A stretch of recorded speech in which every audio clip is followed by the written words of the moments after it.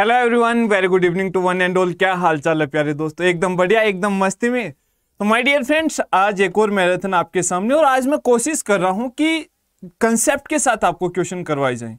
Number of questions भी ज़्यादा करेंगे आज हम पिछले मैराथन के कंपैरिजन में और पूरा कंसेप्चुअल वो चीज़ें लेके चलेंगे। खैर, पहले क्वेश्चन से स्टार्ट करते हैं। आपका चैप्टर का नाम है वेव एंड साउंड ये कह रहा है the voice of a person can be recognise by जैसे जैसे मान लीजिए कि आपके पास दो व्यक्ति हैं, व्यक्ति ए और ये व्यक्ति बी।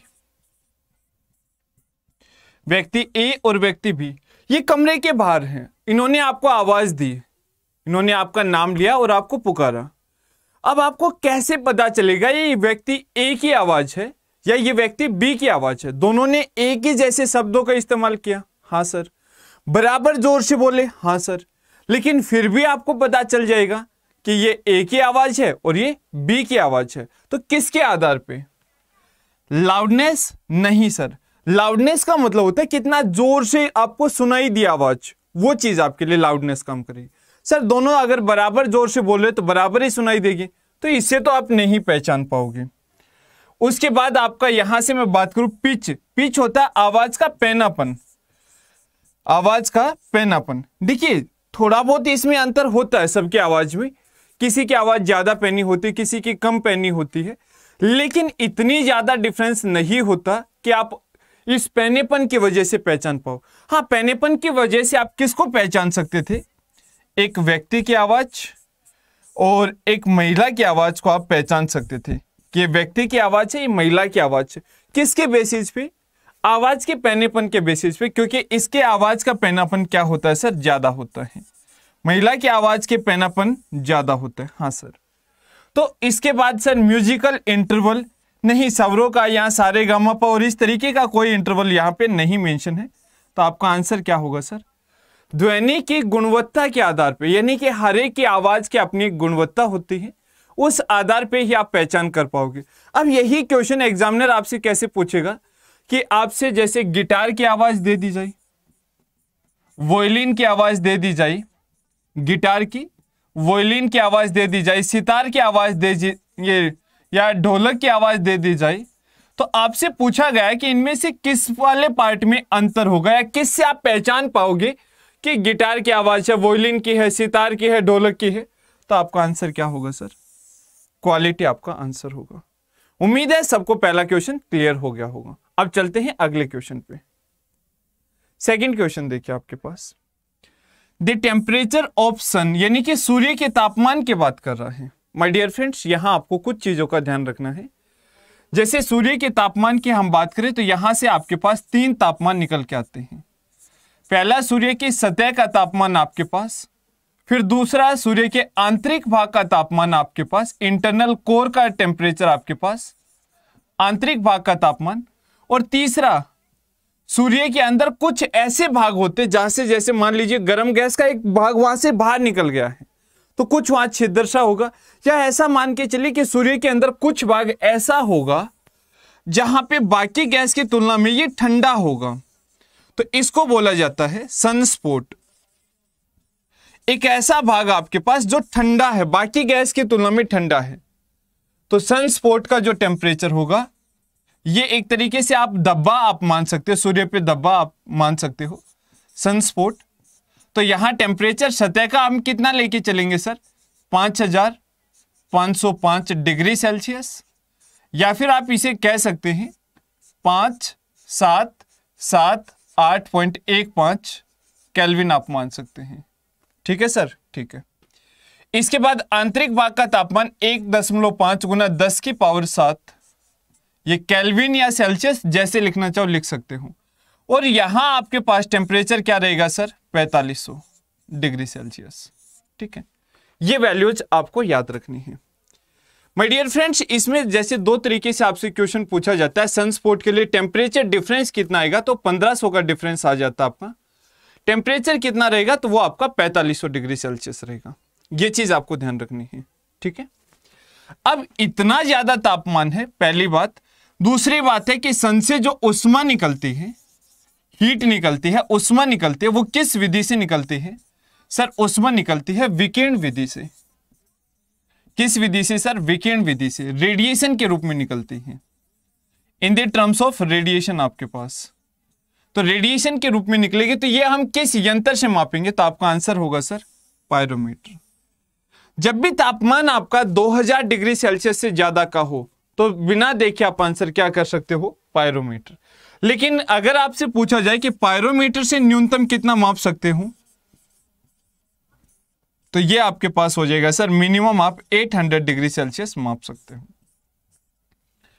अधिकतम की ऐसी कोई सीमा नहीं है, क्योंकि पायरोमीटर के भी अलग अलग प्रकार होते हैं। ठीक है? चलिए, आगे बढ़ते हैं हम। अगला सवाल, बड़ा प्यारा क्वेश्चन आपके पास। आपसे कह रहा है कि मोमेंटम यानी कि रेखीय संवेग, जिसका मान होता पी बराबर है एम वी के बराबर। हाँ सर। और काइनेटिक एनर्जी यानी गतिज ऊर्जा यानी कि के ई आपके पास किसके बराबर? हाफ़ एम वी स्क्र के बराबर। ठीक है, सर।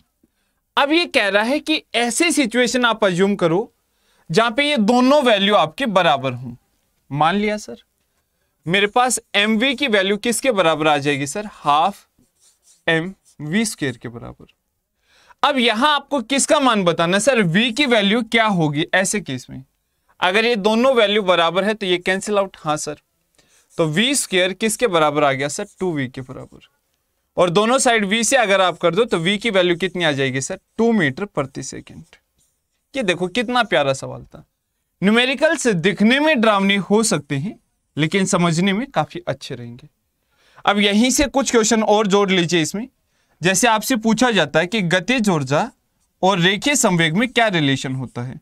तो सर, ये रिलेशन होगा। या फिर अगर इसे रेखीय संवेग के रूप में लिखोगे तो ये under root two M kinetic energy आपके पास। ये हो जाएगा सर। ठीक है? ठीक है। चलिए, अब आगे बढ़ते हैं। अगले सवाल पे चलते हैं। जो भी आपका डाउट आता जाए साथ साथ अपना डाउट क्लियर करते रहना। अगला सवाल आपके पास। There is no atmosphere on the moon चंद्रमा पे कोई वायुमंडल नहीं है। सामान्यतः हम क्या मान के चलते हैं? चंद्रमा पे क्या है, सर? निर्वात है, यानी कि वहाँ पे माध्यम नहीं है। हवा, पानी जैसे ऐसी चीज़ें वहाँ पे नहीं है। निर्वात वहाँ पे। सर, क्या ऐसा पॉसिबल है कि हम यहाँ से गैस लेके जाएँ और वहाँ छोड़ दें? तो वो गैस चंद्रमा पे धीरे धीरे करके हम गैस की मात्रा वहाँ बढ़ा सकते हैं। जब वहाँ पे पेड़ पौधे हो जाएँगे तो फिर वो चीज़ें अपने आप से सर्कुलेट होती रहेगी। नहीं पॉसिबल है। ऐसा क्यों है सर तो इसके पीछे जिम्मेदार कौन कौन सी घटनाएँ हैं, वो देखिए आपके पास। क्या ये पृथ्वी के नज़दीक होने की वजह से है? ऐसा नहीं है सर ये पृथ्वी के चारों तरफ़ चक्कर लगा रहा है, इसकी वजह से नहीं, ऐसा भी नहीं है। ये सूर्य से प्रकाश लेता है, ऐसा भी नहीं है। तो फिर इसके पीछे वजह क्या है, वो समझिए। जैसे मान लीजिए कि ये आपके पास चंद्रमा है और यहाँ ले जाके आपने गैस को छोड़ दिया। तो ये गैस इतनी तेज़ी से गति करेगी, सर, कितनी तेज़ी से? तो इस पे जो गैस की जो गति होगी, जिसे आप वी आर एम एस लिखते हैं रूट मीन स्केयर आप लिखते हैं, ये वैल्यू ज़्यादा हो जाएगी यहाँ के प्लाइन वेग से वी एस्केप तो यहाँ आप कह सकते हो कि चंद्रमा पे वायुमंडल ना होने के पीछे की वजह क्या है? वहाँ जो गैस का वेग होगा, गैस का वेग, वो ज़्यादा है किससे प्लाइन वेग से। वो किससे है? प्लाइन वेग से ज़्यादा है। और चंद्रमा का प्लाइन वेग क्या होता है, सर?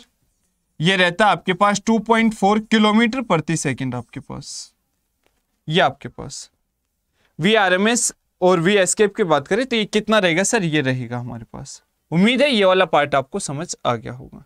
ठीक है? चलिए, अब चलते आगे। इसका आंसर क्या था सर? ऑप्शन डी आपका आंसर था। अगले सवाल पे। देखिए, कोलिजन की बात करें हम तो इसका एक बेसिक आइडिया दिया गया है आपका क्लास नाइन्थ में। फिर इसी चीज़ को आगे क्लास इलेवेंथ में सोल्व किया गया है। तो जो भी टॉपिक आपके ऐसे होंगे जो कक्षा नौ में है और कक्षा ग्यारह में है तो डेफिनेटली उनसे क्वेश्चन बनेगा। तो उनमें से एक टॉपिक आपका कोलिजन, यानी कि टकराव आपके पास। टक्कर की बात की गई है। आपसे कह रहा है कि मान लीजिए कि ये एक वस्तु है, ए, ये एक वस्तु है आपके पास, बी, ए जाके बी के साथ टकरा रहा है। ठीक है सर, कोई दिक्कत नहीं है। लेकिन इस तरीके से टकरा रहा है कि इसके वेग में या इसके द्रव्यमान में कोई परिवर्तन नहीं आ रहा है। तो सर, अब क्या होगा? तो अगर इसके वेग आपका क्या रहे सर? सेम रहे। वेग अगर सेम रहेगा द्रव्यमान क्या रहेगा, सर? ये भी सेम रहेगा। तो इसका मतलब है कि जो रेखीय संवेग होगा, P बराबर है एम वी सर, ये भी सेम रहेगा।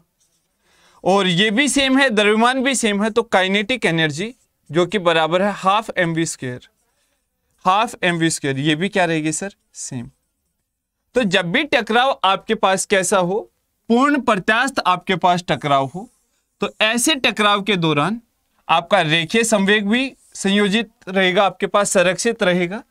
और रेखीय संवेग के साथ साथ गतिज ऊर्जा दोनों कंजर्व रहेंगे, दोनों संरक्षित होंगे। तो ये आपका आंसर हो जाएगा। क्लियर है? चलिए, अब आगे बढ़ते हैं। अगला पार्ट आपके पास।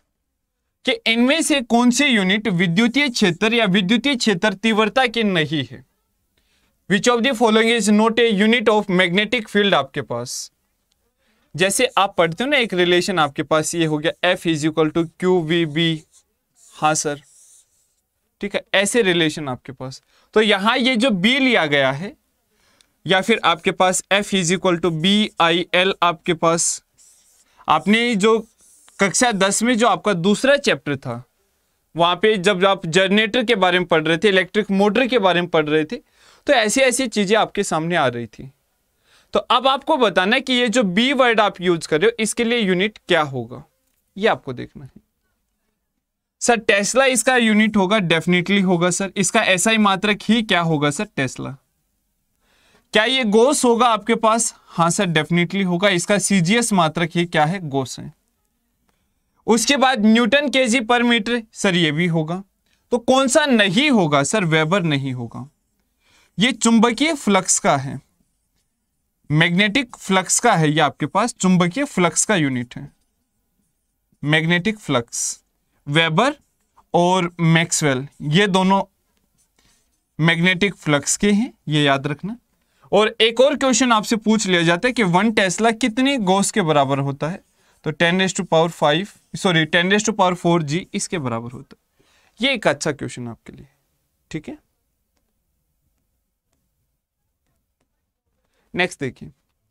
एक कंडक्टर हैज़ आपके पास कितने कुलाम पॉजिटिव चार्ज है उसके पास? चौदह पॉइंट चार गुना दस की पावर माइनस उन्नीस कुलाम चार्ज है। ये इसके लिए किसकी वैल्यू हो गई सर क्यू का मान हो गया। टोटल चार्ज हो गया, कुल आवेश हो गया। और उसके बाद क्या कह रहा है कि आपको यह बताना है कि यहाँ पे कुल कितने इलेक्ट्रॉन होंगे? कुल कितने इलेक्ट्रॉन होंगे? अब एक चीज़ देखो, इसने क्या कहा? सर पॉजिटिव चार्ज धनात्मक आवेश। जैसे मैं देखता हूँ कि मेरे पास सोडियम है तो सोडियम से जब पॉजिटिव बन रहा है, इसका मतलब यहाँ से तो एक इलेक्ट्रॉन चला गया है। तो सोडियम के पास इलेक्ट्रॉन की क्या होगी सर कमी होगी। तो पहले तो यहाँ से देखिए सर कि इलेक्ट्रॉन अधिक होंगे नहीं इलेक्ट्रॉन अधिक होंगे नहीं। अब आपके पास इन दो में से आपको छाटना है। मुझे पता है कि जो टोटल चार्ज होता, वो बराबर होता एन इनटू आपके पास चार्ज ऑन इलेक्ट्रॉन हाँ सर अब इसकी वैल्यू आपको दे रखी है वन ये फोर पॉइंट फोर आपके पास.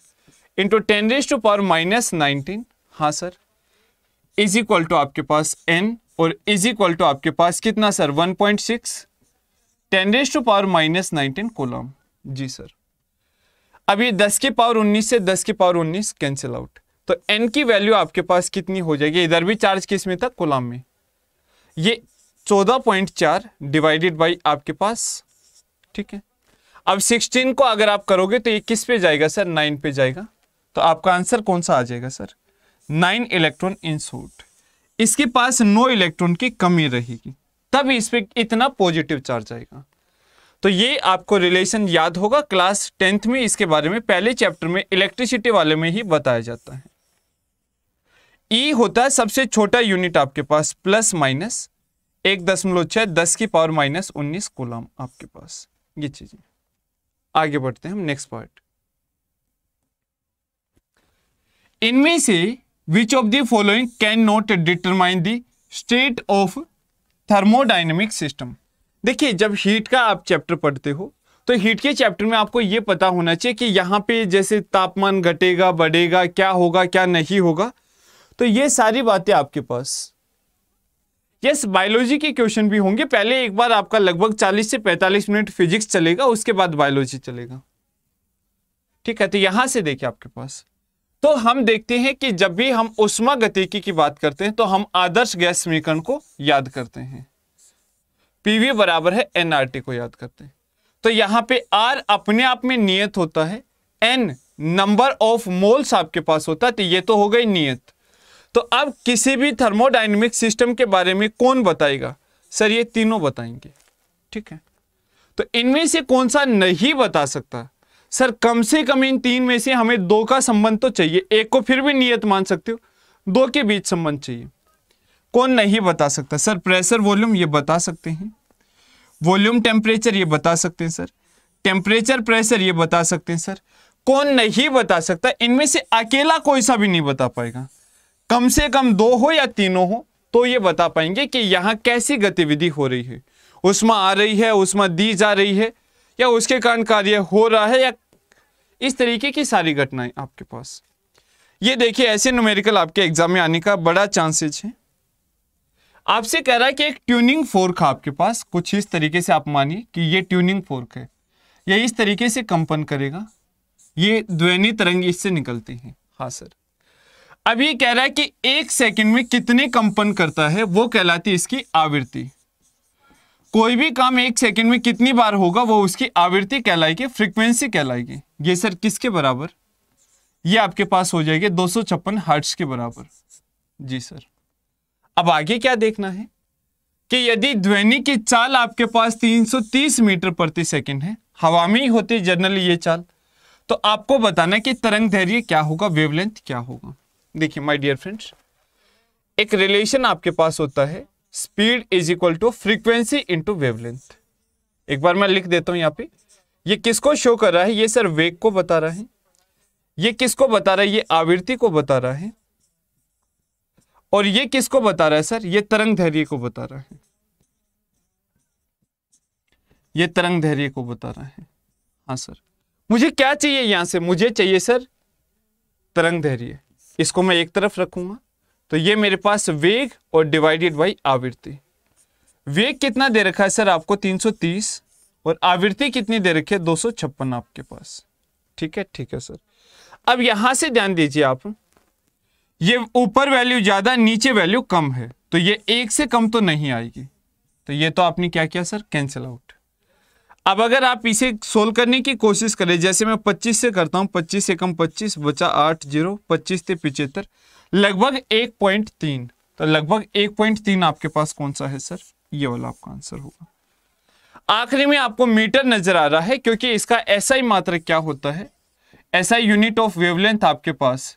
ऐसा यूनिट होता है, सर मीटर वो अलग बात है कि एक्स किरणों के लिए ये हम एंगेस्ट्रा में माप लेते हैं।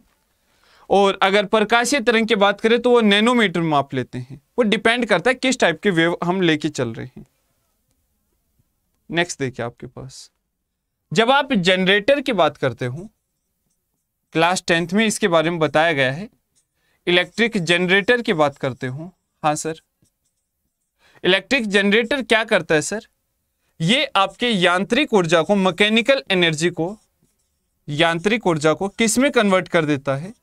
यांत्रिक ऊर्जा को विद्युतीय ऊर्जा। मैकेनिकल एनर्जी आपके पास, विद्युतीय आपके पास ऊर्जा में। मैकेनिकल एनर्जी आपकी किसमें कन्वर्ट हो जाएगी? इलेक्ट्रिकल एनर्जी में। जी सर, ये याद हो गया हमें। अब आपको देखना है कि इसमें क्या, कौन सा स्टेटमेंट आपके फेराडे के, जैसे इसने दो नियम दिए थे इससे संबंधित। तो उन दोनों में से कौन सा है, उसके बारे में जान लेते किसके संबंधित? विद्युतीय प्रेरण के संबंधित। देखिए। पहली बात आप ये देखिए कि लोज किसने दिए हैं? इससे ईएमआई से संबंधित, विद्युत प्रेरण से संबंधित। सर, ये नियम तो दिए हैं किसने? फेराडे ने। हाँ सर। और यहाँ डायरेक्शन की अगर बात की जाए, इसकी दिशा से संबंधित जो बात की गई है, डायरेक्शन दिशा से संबंधित जो बात की गई है, वो किसने की है? वो की है, सर, लेंच ने। और जो लेंस का नियम है, वो किसके? ऊर्जा के संरक्षण पे आधारित है। इतनी सी बात आपके माइंड में होनी चाहिए। तो दिशा के बारे में कौन बताएगा सर लेंस देखिए, यहाँ डायरेक्शन की बात कर रहा है कट कर दो। यहाँ डायरेक्शन की बात कर रहा है, सर कट कर दो। यहाँ पे वैल्यू की बात करेगा ये। तो ये कह रहा है कि कुंडली में उत्पन्न प्रेरित विद्युत वाहक बल ईएमएफ इसको भी हम किसमें मापते हैं, सर? इसको भी वोल्ट में मापा जाता है। ठीक है? इसको भी वोल्ट में मापा जाता है और पोटेंशियोमीटर विभव मापी से इसको मापा जाता है। के साथ संलग्न चुंबकीय फ्लक्स के परिवर्तन की दर के मूल्य के बराबर होगा। ये आपके पास। ये इसका पहला नियम है आपके पास। ठीक है? चलिए। आगे आपसे पूछा गया है। A bob of pendulum is brought in mean position. ध्यान से समझो ये कहना क्या चाह रहे हैं। मान लीजिए ये छत है छत के साथ आपने एक पेंडुलम जोड़ दिया और पेंडुलम के नीचे अगर मैं बात करूँ तो ये कहलाता आपका बोब। हाँ सर। मान लीजिए कि आपने इसे यहाँ ऊपर की ओर ला रखा है। ये लाए, सर। अब आपसे पूछ रहा है कि वो कौन सा बल है जिसके कारण ये यहाँ जाएगा? माय डियर फ्रेंड्स यहाँ से एक दो चीज़ें और आपको ऐड कर लेनी है। यहाँ पे इसके अंदर जो ऊर्जा स्टोर होती है, वो बराबर होती है किसकी, सर? एम स्थिर ऊर्जा। और स्थिर ऊर्जा जब यहाँ जाएगी तो किसमें बदल जाएगी सर? गतिज ऊर्जा में बदल जाएगी। पहला पार्ट तो ये। दूसरा पार्ट आपको ये याद रखना, यहाँ पे त्वरण मैक्सिमम होगा और यहाँ पे वेग मैक्सिमम होगा। ठीक है सर, ये भी हो गया। अब तीसरा पार्ट आपको ये याद रखना कि जब आप इसको यहाँ लेके आए होगे, जैसे एक और एग्जांपल मैं लेके चल रहा हूँ। मान लो ये स्प्रिंग आपके पास। स्प्रिंग को आप नीचे की ओर खींच के लेके गए। हाँ सर, नीचे में लेके गया खींच के। ये आप नीचे खींच के लेके गए। तो ये नीचे जब आप लेके जा रहे हो तो आपने कोई ना कोई इस पे बल लगाया होगा। हाँ सर। अब इसको अगर आप छोड़ दोगे तो ये वापस अपनी पोजीशन पे आएगा। हाँ सर। किस बल के कारण आएगा? तो ये आपके रेस्टोरिंग फोर्स के कारण आता है। यहाँ कौन सा बल लगेगा इसका? प्रत्यानयन बल लगेगा आपका। रेस्टोरिंग फोर्स लगेगा। तो सिमिलर केस यहाँ पे है कि ये किस बल के कारण यहाँ आया होगा? तो आपका आंसर क्या होगा सर रेस्टोरिंग फोर्स के कारण। जब भी किसी चीज़ को आप अपनी मीन अवस्था से, उसकी जो वास्तविक अवस्था से दूर लेके जाओगे तो कौन से बल के कारण वापिस आएगा? सर इसके कारण।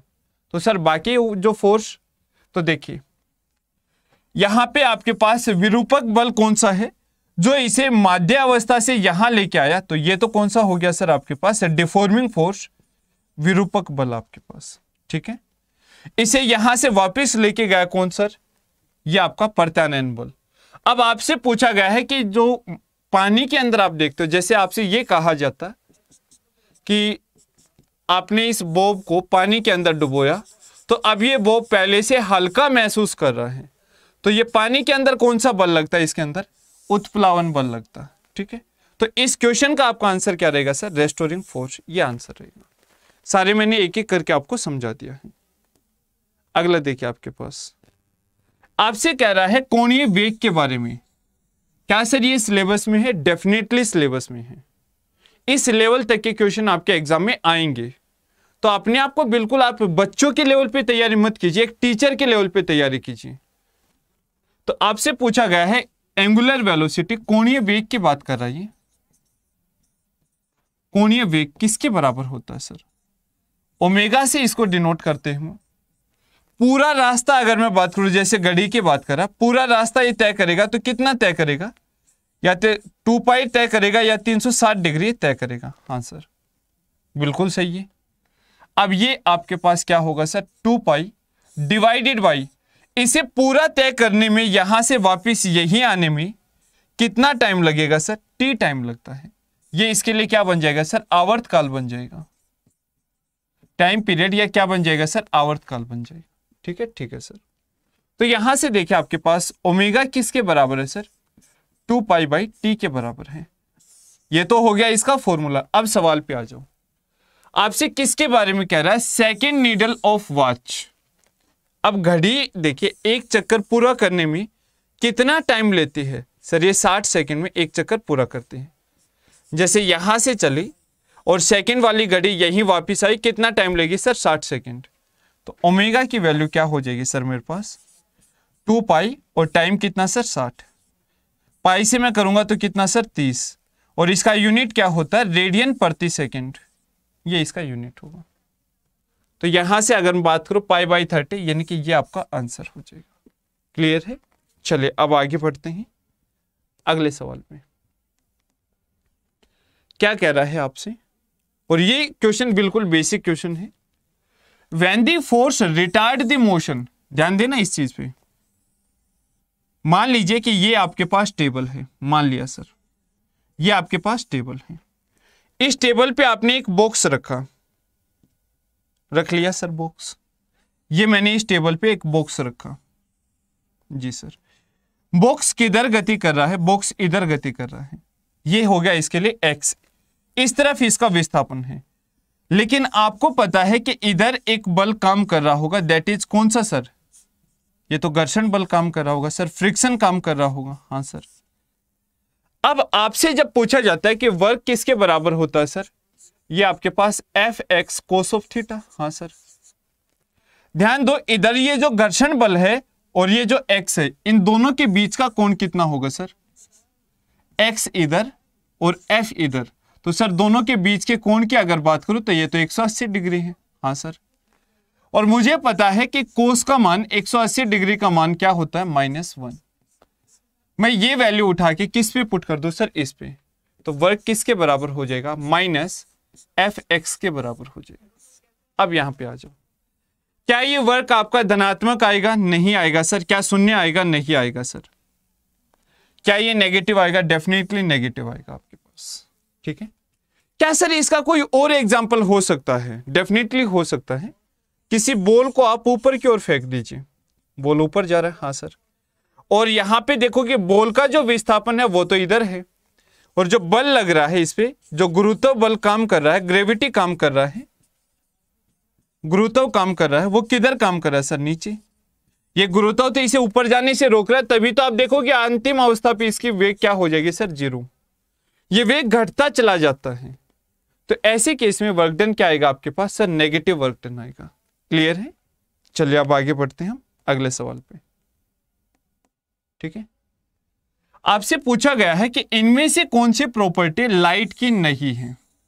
इनमें से कौन सा गुण लाइट का नहीं है? तो लाइट में आप जानते हैं कि तीन प्रॉपर्टी हम बेसिकली देखते हैं। पहला जो गुण देखते हैं कि लाइट हमेशा सीधी दिशा में जाती है। ये कौन सा प्रॉपर्टी है? सर, रे प्रॉपर्टी इसका किरण की प्रवृत्ति आपके पास। जिस पे आप प्रावर्तन पढ़ते हो रिफ्लेक्शन अपवर्तन पढ़ते हो पूर्ण आंतरिक परावर्तन पढ़ते हो, वो सारी चीज़ें। दूसरा, हम जानते हैं कि ये विद्युत चुंबकीय तरंग होती है इलेक्ट्रोमैग्नेटिक वेव होती है। तो विद्युत चुंबकीय तरंग को चलने के लिए माध्यम की आवश्यकता नहीं होती तो निर्वात में चल सकती है। और निर्वात में ही इसकी चाल सबसे ज़्यादा होती, कितनी होती है, सर? तीन गुना दस की पावर आठ मीटर प्रति सेकेंड। हाँ सर। ठीक है? अब इसके बारे में देख लेते हैं ऑप्शंस क्या क्या कह रहे हैं। It require a material medium for propagation क्या इसे चलने के लिए माध्यम की आवश्यकता होगी? आंसर है कि सर, नहीं होगी।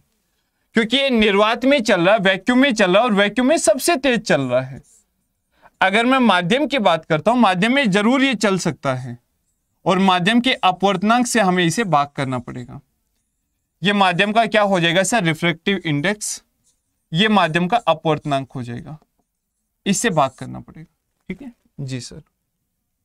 It can travel through vacuum क्या ये निर्वात से चल सकता है? ज़रूर चलेगा sir. It involve the transport of energy क्या ये ऊर्जा का संचरण करता है? डेफिनेटली देखिए। जैसे मैं सन से बात करूँ और यहाँ मैं बात कर लेता हूँ कि ये मेरे पास एक पौधा है। आप जानते हैं कि एनर्जी ना बनाई जा सकती, ना नष्ट की जा सकती। तो यहाँ से सन से आने जो प्रकाशीय ऊर्जा है। सन से कौन सी ऊर्जा, सर? लाइट एनर्जी यानी कि प्रकाशीय ऊर्जा। ये पौधा इसको किस ऊर्जा में बदल देगा? प्रकाश संश्लेषण की सहायता से इसे रासायनिक ऊर्जा में बदल देगा।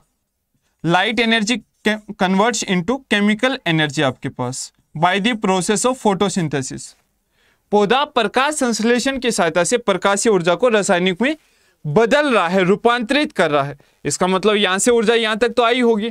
डेफिनेटली आई होगी सर और ये आप गर्मी में भी महसूस कर सकते हैं। आप धूप में खड़े होकर देखिए, पता चल जाएगा। तो ये आपके पास। इट हैज़ फाइनाइट स्पीड यानी कि इसकी चाल निश्चित होती है, ये भी सही है। ठीक है? तो ये आपका आंसर हो जाएगा। नेक्स्ट देखिए आपके पास। बर्नौली परमे आपकी यहाँ से Bernoulli Parme is applicable for the motion of fluid आपके पास। बर्नौली परमे आपकी ऊर्जा के संरक्षण पे आधारित होती है।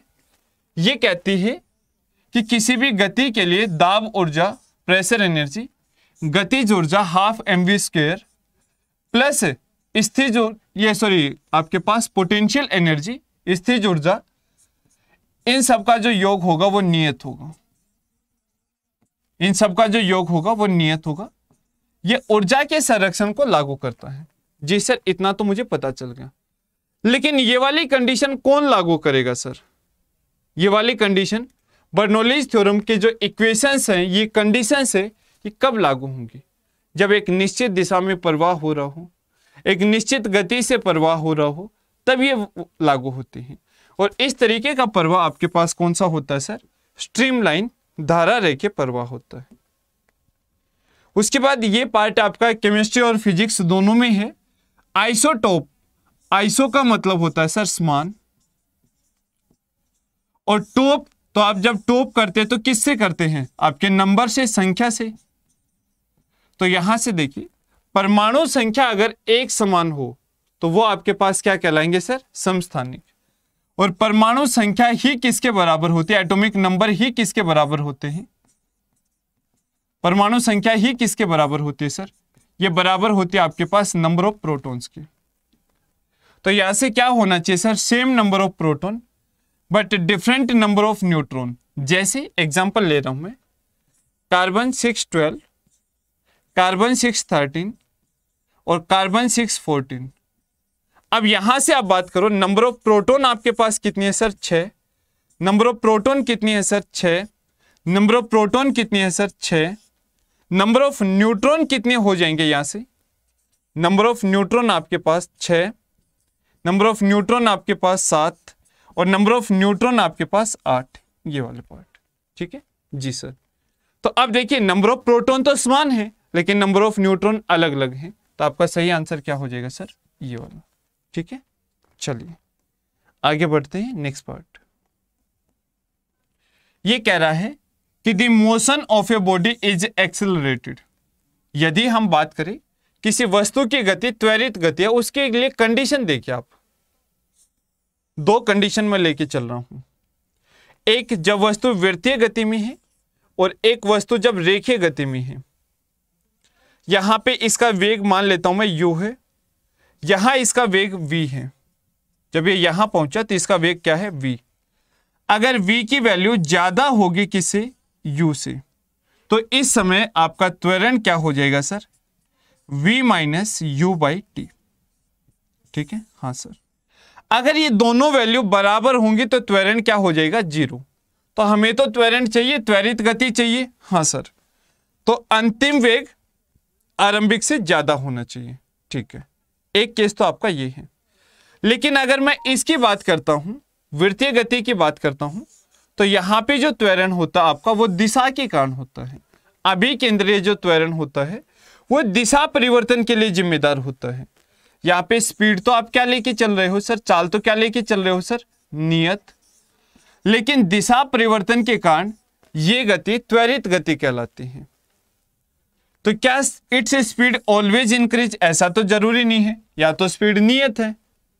वेलिसिटी इज़ ऑलवेज इंक्रीज, ऐसा भी नहीं है। It always fall towards the ground. ज़मीन की तरफ़ गिरे, ये भी ज़रूरी नहीं है। A force always act on it. अब देखो इसको। आपने न्यूटन के गति का नियम पढ़ा है? हाँ सर, पढ़ा है। अगर आपके पास एफ़ ज़ीरो होगी तो त्वरण भी क्या होगा सर? ज़ीरो। तो अगर आप चाहते हो कि त्वरण हो तो कोई ना कोई बल लगना चाहिए। हाँ सर। जैसे वृत्तीय गति में यहाँ कौन सा बल लगता है आपका? अभी केंद्रीय बल, सेंट्रीपिटल फोर्स लगता है। अभी केंद्रीय बल लगता है सेंट्रीपिटल फोर्स लगता है, ये चीज़ आपको याद रखनी। क्लियर है? तो आपके पास क्या होगा सर? ऑप्शन डी आपका सही हो जाएगा। अगले सवाल पे चलिए। टेस्ला इज़ यूनिट ऑफ़ आज ही के सेशन मैंने आपको करवाया है। फटाफट एक बार आंसर करो। टेस्ला किसकी इकाई है? जल्दी से एक बार मुझे बता दो। टेस्ला किसकी इकाई है? क्या चुंबकीय फ्लक्स की नहीं, सर, इसकी यूनिट होती है वोल्ट मीटर क्या चुंबक के क्षेत्र की नहीं सर इसकी यूनिट होती है? न्यूटन प्रति कुलाम या वोल्ट प्रति मीटर, ये यूनिट होती है। मैग्नेटिक फ्लक्स की सर इसकी यूनिट होती है वेबर या मैक्सवेल, और इसके यूनिट होती है आपके पास टेस्ला या गोज। टेस्ला या गोस आपके पास, ये आपको याद रखना। तो आपका सही आंसर क्या होगा सर? ऑप्शन डी आपका सही आंसर। नेक्स्ट देखिए आपके पास। आज मैंने आपको बताया था Q is equal to plus minus n e तो E क्या है आपके पास? ये न्यूनतम संभव चार्ज है आपके पास।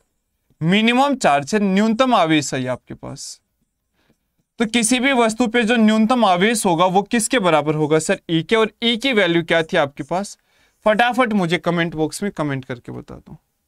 इलेक्ट्रॉन पे चार्ज कितना होता है? प्रोटॉन पे चार्ज कितना होता है? ये आप मुझे कमेंट बॉक्स में कमेंट करके बताएँगे, अभी तुरंत आप ये क्वेश्चन का जवाब दे देंगे।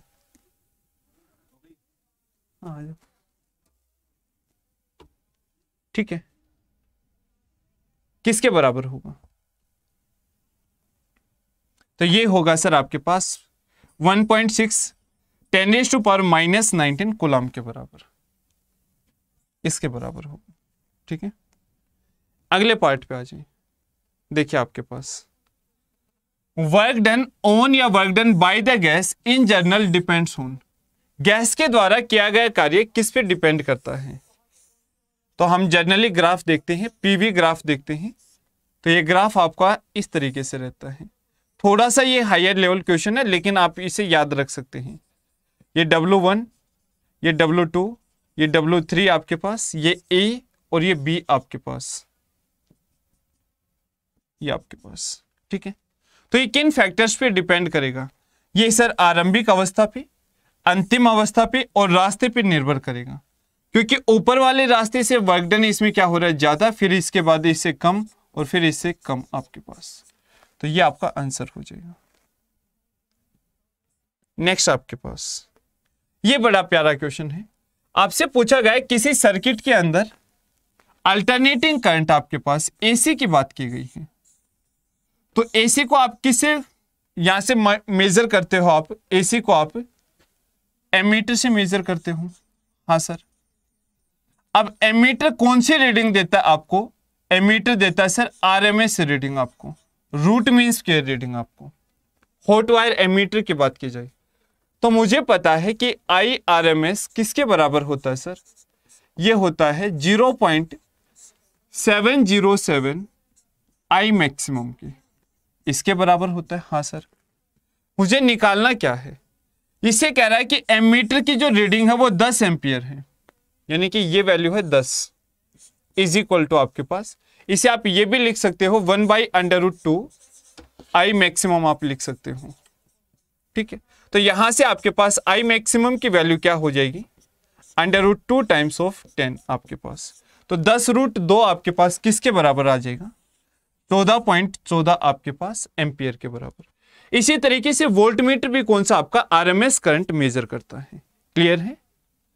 तो जो बायो की डिमांड कर रहे थे स्टूडेंट सर काफ़ी बड़े फ़ैन हैं बायो के चक्कर में फिजिक्स पढ़ रहे हैं। अच्छा क्या बात बार बार कमेंट आ रहा है सर बायो बायो चलिए तो सर बने हुए थे लगभग एक घंटे से पिछले एक घंटे से सर आपके साथ बने हुए थे अब बारी होती है बायोलॉजी की। तो स्टार्ट करें सेशन को। जल्दी से जुड़ जाइए भाई, मैं पीजीटी जुआलॉजी से हूँ प्लीज़ कंफर्म बायोलॉजी के क्वेश्चंस होंगे क्या? बिल्कुल होंगे, और आज तो बहुत इंपॉर्टेंट सेशन रहने वाली है, क्योंकि आज हम डिस्कस करेंगे, आज हम डिस्कस करेंगे किसके ऊपर क्वेश्चंस भाई सेशन को जल्दी से शेयर कर दो। और जुड़ जाओ सेशन में। आज डिस्कस करने वाले हैं thirty five important question on vitamin and minerals ठीक है? तो जल्दी से जुड़ जाइए भाई।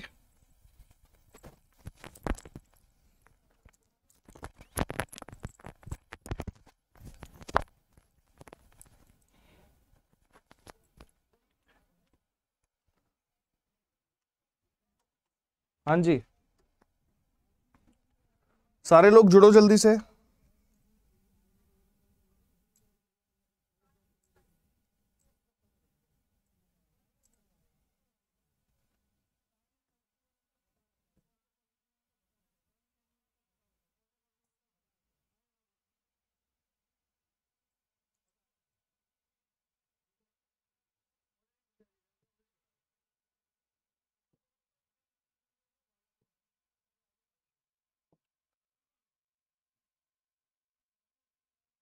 चलिए जी। हाँ जी। नमस्कार नमस्कार नमस्कार। चलिए। टीजीटी पीजीटी वाले और टीचर्स वाले, सारे जुड़ जाएँ जल्दी से। तो क्या हम सेशन को स्टार्ट कर सकते हैं? आर वी रेडी चलिए। आज हम डिस्कस करने जा रहे हैं इंपॉर्टेंट क्वेश्चंस किसके ऊपर? Important questions on vitamin and minerals तो विटामिन और खनिज, हिंदी में क्या कहते हैं? विटामिन और इसे कहते हैं खनिज। तो विटामिन और खनिज कौन कौन से ज़रूरी हैं? पौधों को, इंसानों को उसके ऊपर 35 इंपॉर्टेंट क्वेश्चंस और हर एग्जामिनेशन में इसके ऊपर क्वेश्चन आते ही आते हैं, ये ध्यान रखिएगा। चलिए स्टार्ट करें। पहला क्वेश्चन आपके स्क्रीन पे आने जा रहा है। तैयार हो जाइएगा। पहला सवाल स्क्रीन पे है which of the following which of the following pair of vitamin is या are correctly matched with their diseases caused vitamin A rickets vitamin B one से बेरी होता है विटामिन सी की कमी से स्कर्वी होता है अब बताना है आपको जवाब कौन सा सही है। बी ओनली यानी सिर्फ़ बी सही है। बी एंड सी दोनों सही है। ए और सी सही है या फिर ए बी और सी तीनों ही सही है, जल्दी से बताइए। फटाफट से।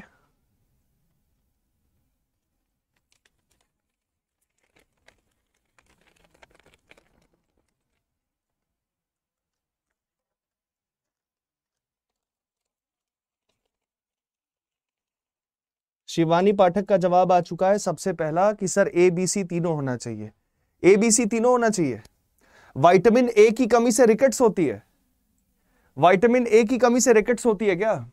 वाइटामिन बी वन से थायमिन की कमी से बेरी बेरी होती है। चलो, अच्छी बात है। विटामिन बी वन की कमी से बेरी बेरी होती है, ये तो सही है। विटामिन सी की कमी से स्कर्वी होती है, ये भी सही है। रिकेट्स विटामिन ए की कमी से होती है, वो तो night blindness. Option number B सही होगा ना? प्रयांशी का जवाब बिल्कुल सही है, option number B B and C सिर्फ़ सही है। Option number B is the correct answer. अगला सवाल, precursor of which vitamin comes from beta carotene? निम्नलिखित में से किस विटामिन का अग्रदूत बीटा कैरोटीन से आता है? बताइएगा। पहला ऑप्शन है विटामिन ए, दूसरा ऑप्शन है विटामिन सी, तीसरा ऑप्शन है विटामिन डी, या चौथा ऑप्शन है विटामिन के। कौन सा जवाब सही है? फटाफट से जवाब दें। What will be the correct option Tulika, Upendra. Come on guys give you answers fast फटाफट से। Yes rickets vitamin D osteomalacia बड़ों में होता है रिकेट्स चिल्ड्रन में होती है। यह बात ध्यान रखिएगा विटामिन डी की अगर कमी हो जाए तो ऑस्टियोमलेशिया होती है एडल्ट्स में। किसमें बड़े लोगों में एडल्ट्स में होती है। और छोटों में, अगर मैं बच्चों की बात करूँ तो बच्चों में इन्फेंट्स में, बच्चों में, यानी कि इन इन्फेंट्स इसे हम रिकेट्स के नाम से जानते हैं। किस नाम से जानते हैं? रिकेट्स के नाम से जानते हैं। ध्यान रखने वाली बात होगी। हाँ जी, सवाल का जवाब पे आते हैं। Precursor of which of the following vitamin comes from beta carotene vitamin निम्नलिखित में से किस विटामिन का अग्रदूत बीटा कैरोटीन है? और मैं देख पा रहा हूँ कि काफ़ी कम जवाब आए हैं इस सवाल के लिए। कठिन लग रहा है। बहुत ही आसान सा सवाल था कि बीटा कैरोटीन का अग्रदूत कौन है? Option number B vitamin C है अग्रदूत उसका। Option number B is the right answer अगला सवाल which of the following vitamin is synthesized by our own skin निम्नलिखित में से कौन सा विटामिन हमारी अपनी त्वचा द्वारा संश्लेषित होता है? हमारी ही स्किन उसे बनाती है। Vitamin A vitamin B vitamin C या विटामिन डी क्या होगा जवाब? फटाफट से। Come on guys, give your answers. Which of the following vitamins is synthesized by our own skin? हमारे ही त्वचा से कौन सी विटामिन संश्लेषित होती है इसका सही जवाब होगा ऑप्शन नंबर डी यानी विटामिन डी हमारे त्वचा से संश्लेषित होती है इसके अलावा विटामिन ए की बात करें विटामिन बी की बात करें विटामिन सी की बात करें तो इसे हमें अन्य सोर्सेज यानी स्रोतों से लेना पड़ता है चाहे वो पादप की स्रोत हो, यानी प्लांट सोर्स हो, या फिर एक जंतु, यानी एनिमल बॉडी उसका सोर्स यानी स्रोत हो। अगला सवाल question number four which of the following vitamin इनमें से कौन सा वो विटामिन है, जो कि रक्त के थक्का बनने के लिए जिम्मेदार है which is responsible for blood clotting निम्न में से कौन सा विटामिन रक्त के थक्के के लिए आवश्यक है? पहला ऑप्शन है विटामिन ए दूसरा ऑप्शन है विटामिन डी तीसरा ऑप्शन है विटामिन के या चौथा ऑप्शन है विटामिन सी क्या होगा जवाब?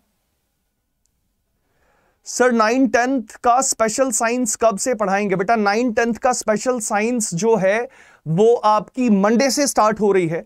मंडे से ना सिर्फ़ बिहार सेवेंथ फ़ेज़ बल्कि ईएमआरएस की जो वैकेंसी निकली है, उसके ऊपर और डी ट्रिपल एस बी के जितने भी हमारे परीक्षार्थी अभ्यर्थी हैं एस्पिरेंट्स हैं, उनके लिए स्पेशल सेशन मंडे से चलाई जाएगी, जिसकी समय बहुत जल्द, यानी कल आपको टीचर्स अड्डा पे डिस्क्लोज कर दिया जाएगा। कल जुड़ना ना भूलिएगा, क्योंकि कल बिहार सेवेंथ फ़ेज़ वालों के लिए जो हमारी टीजीटी और पीजीटी लेवल की एग्जामिनेशन है टीजीटी और पीजीटी लेवल की एग्जामिनेशन है. ट्रेंड ग्रेजुएट टीचर और पोस्ट ग्रेजुएट ग्रेजुएट टीचर उनकी बायोलॉजी यानी जीव विज्ञान के जो दो डोमेन्स हैं, पादप विज्ञान और जंतु विज्ञान, इन दोनों के लिए कल स्पेशल सेशंस रखी गई हैं।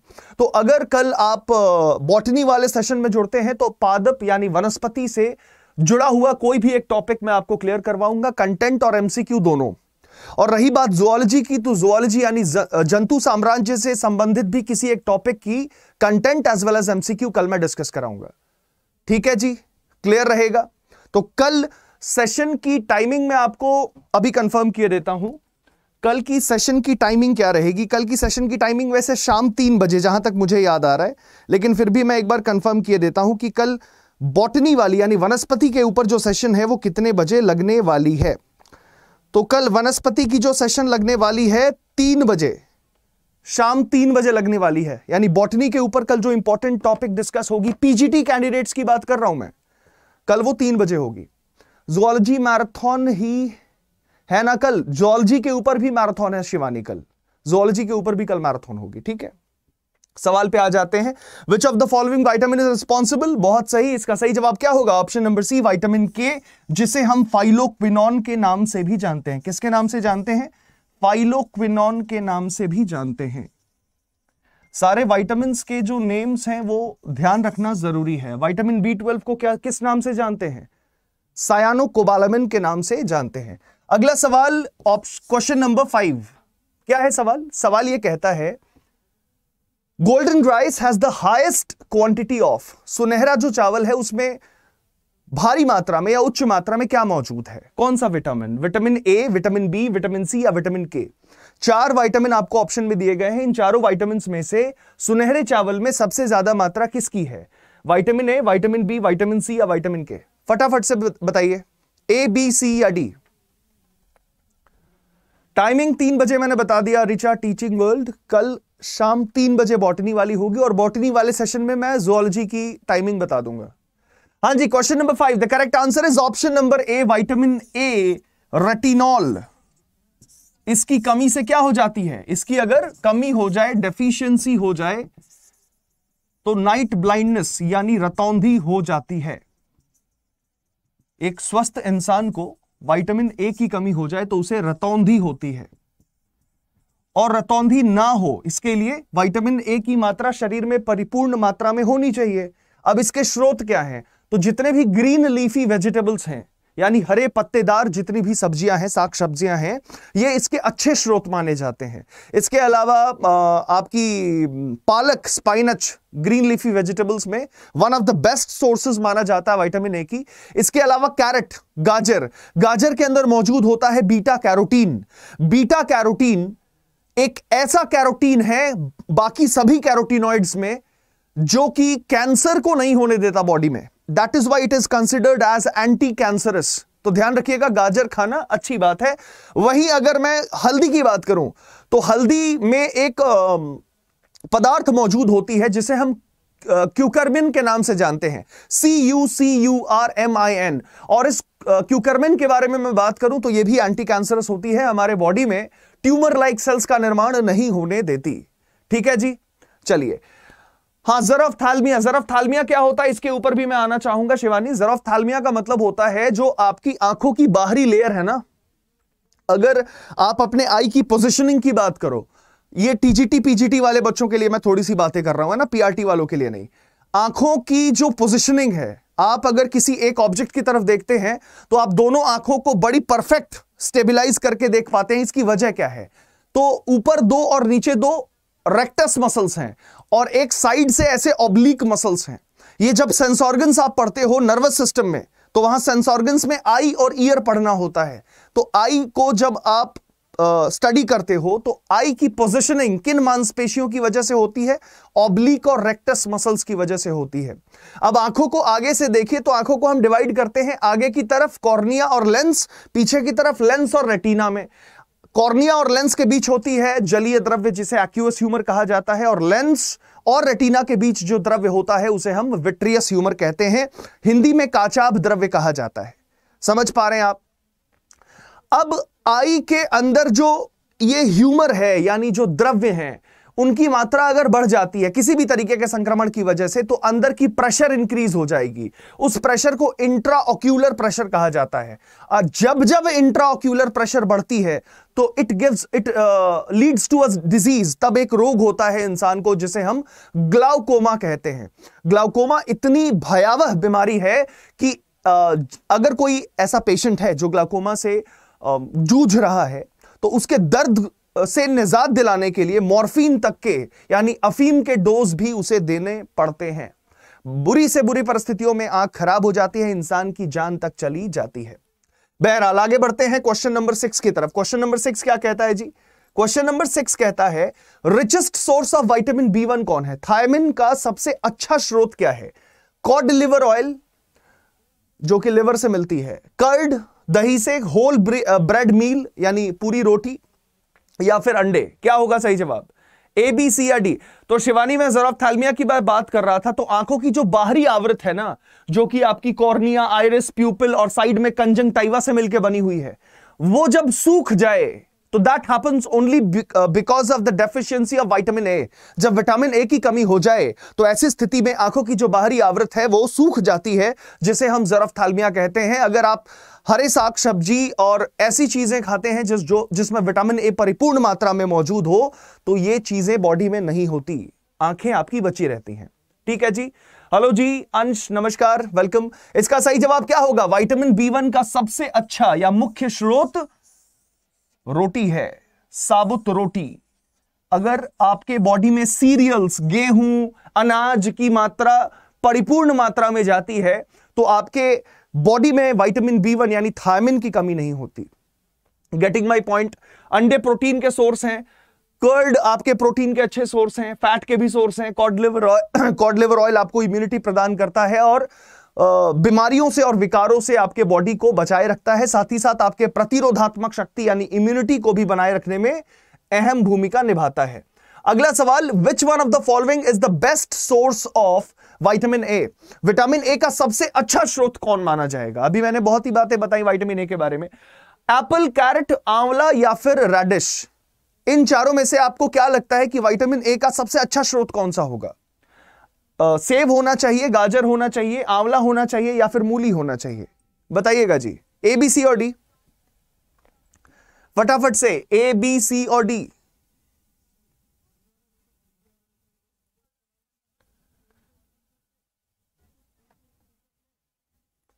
सेवन का सुमित आपने जवाब बहुत बढ़िया दिया है। बीटा कैरोटीन होती है गाजर में।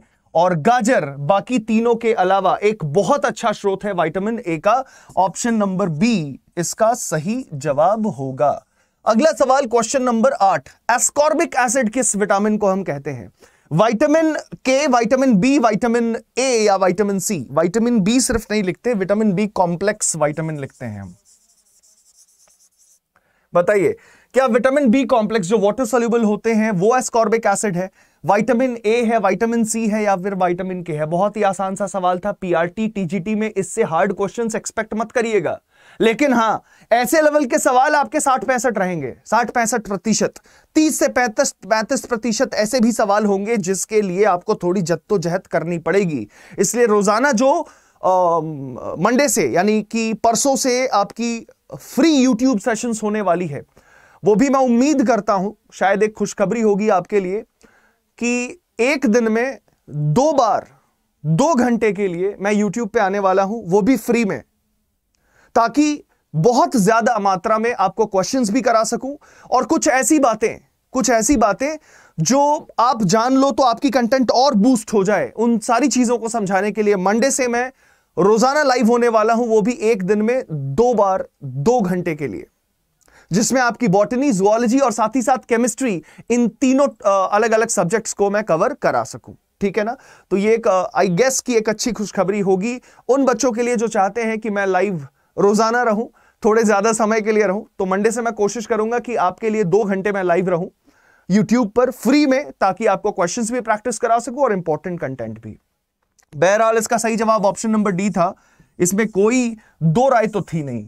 अगले सवाल पे चलते हैं। अगला सवाल है question number nine. Question number nine कहता है कि vitamin which is destroyed during cooking as well as storage वो विटामिन जिसको हम पकाएँ तब बर्बाद हो जाता है या फिर अगर हम भंडारित करते हैं तब भी बर्बाद हो जाता है। वो विटामिन कौन है?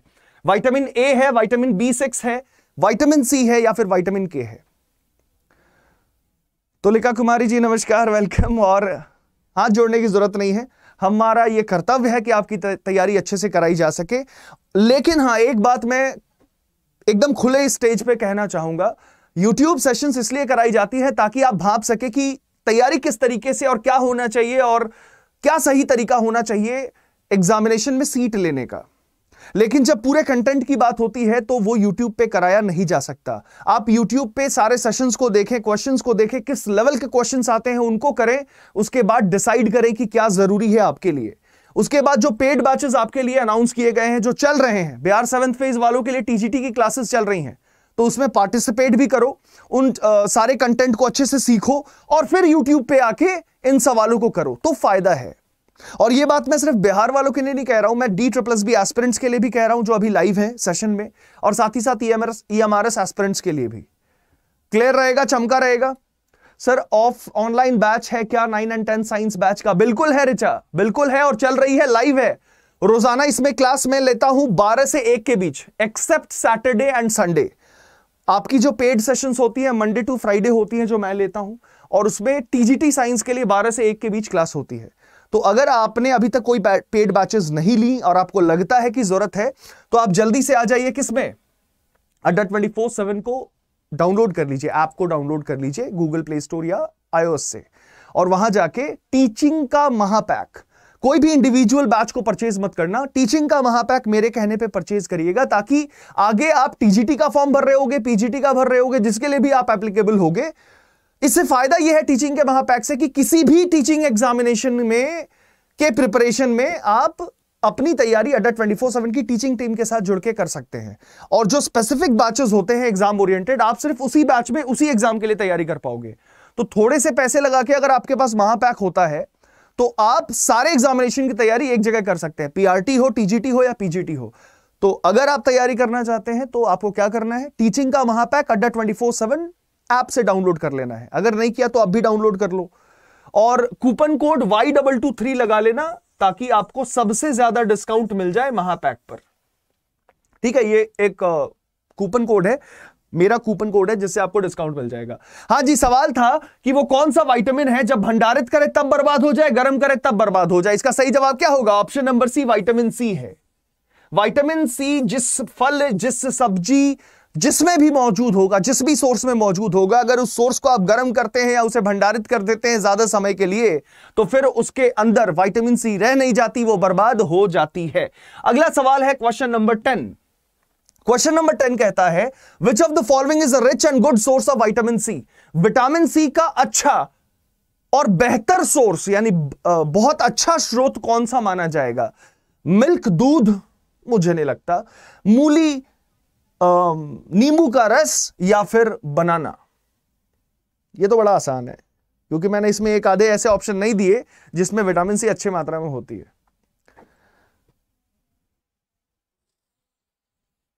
आज जो आयुष सर की क्लास हुई है, उसको कैसे देख सकते हैं? बेटा प्लेलिस्ट में जाओ, आपको दिख जाएगा, या फिर वीडियो सेक्शन में जाओगे, या लाइव सेक्शन में जाओगे आप। यूट्यूब पे जाओ teachers Adda twenty four seven पे, और वहाँ लाइव सेक्शन में जाओ, आपको जो भी आज की क्लासेस हुई हैं, वो सारी दिख जाएँगी। हाँ जी, इसका सही जवाब option number C lemon juice will be the right answer अभी देखो, और दस सवाल हम करेंगे विटामिन के ऊपर, उसके बाद पंद्रह अगला सवाल खनिज के ऊपर होगा। तो अगले दस सवाल के लिए तैयार हो जाइए। अगला सवाल है क्वेश्चन नंबर इलेवन कहता है आपसे कि इनमें से कौन एक जल में घुलनशील विटामिन है? Vitamin C vitamin A vitamin K या वाइटामिन डी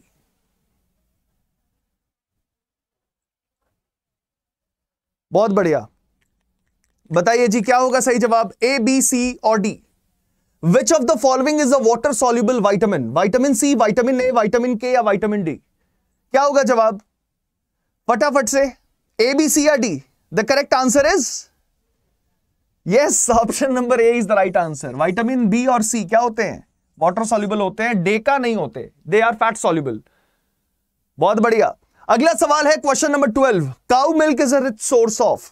कहते हैं ना कि दूध मिल गया तो कंप्लीट फ़ूड मिल गया, क्योंकि दूध के अंदर कार्बोहाइड्रेट भी है, प्रोटीन भी है, वसा भी है, इंपॉर्टेंट विटामिन और खनिज भी है। इसीलिए मिल्क को कंप्लीट फ़ूड कहते हैं और कई साधु संत दूध के सहारे ही अपने जीवन को यापन भी करते हैं। है ना? सर, टीजीटी में अगस्त वाली सीटेट चल जाएगी। ये एक बहुत अच्छा और वाजिब सवाल है जो आजकल बच्चे पूछ रहे हैं कि, सर, क्या अगर हम थर्टीएथ अगस्त को सीटेट देने जा रहे हैं। जो थर्टी अगस्त को ऑफलाइन सीटेड एग्जामिनेशन होने वाली है तो क्या हम डी ट्रिपल्स बी में एलिजिबल हो पाएँगे? बिल्कुल हो पाएँगे, क्योंकि अभी तक official notification D triple S B 2023 की नहीं आई है। गेटिंग माई पॉइंट तो जो भी सीटेट एग्जामिनेशन वो तो होने वाली है, अगर तब तक रिज़ल्ट आ गया और एग्जामिनेशन नहीं हुई है तो आप एप्लीकेबल होंगे। इसके ऊपर एक पूरी वीडियो में बना के डाल दूँगा, कल तक आपको चैनल पे दिख जाएगी टीचर्स अड्डा पे। ठीक है जी?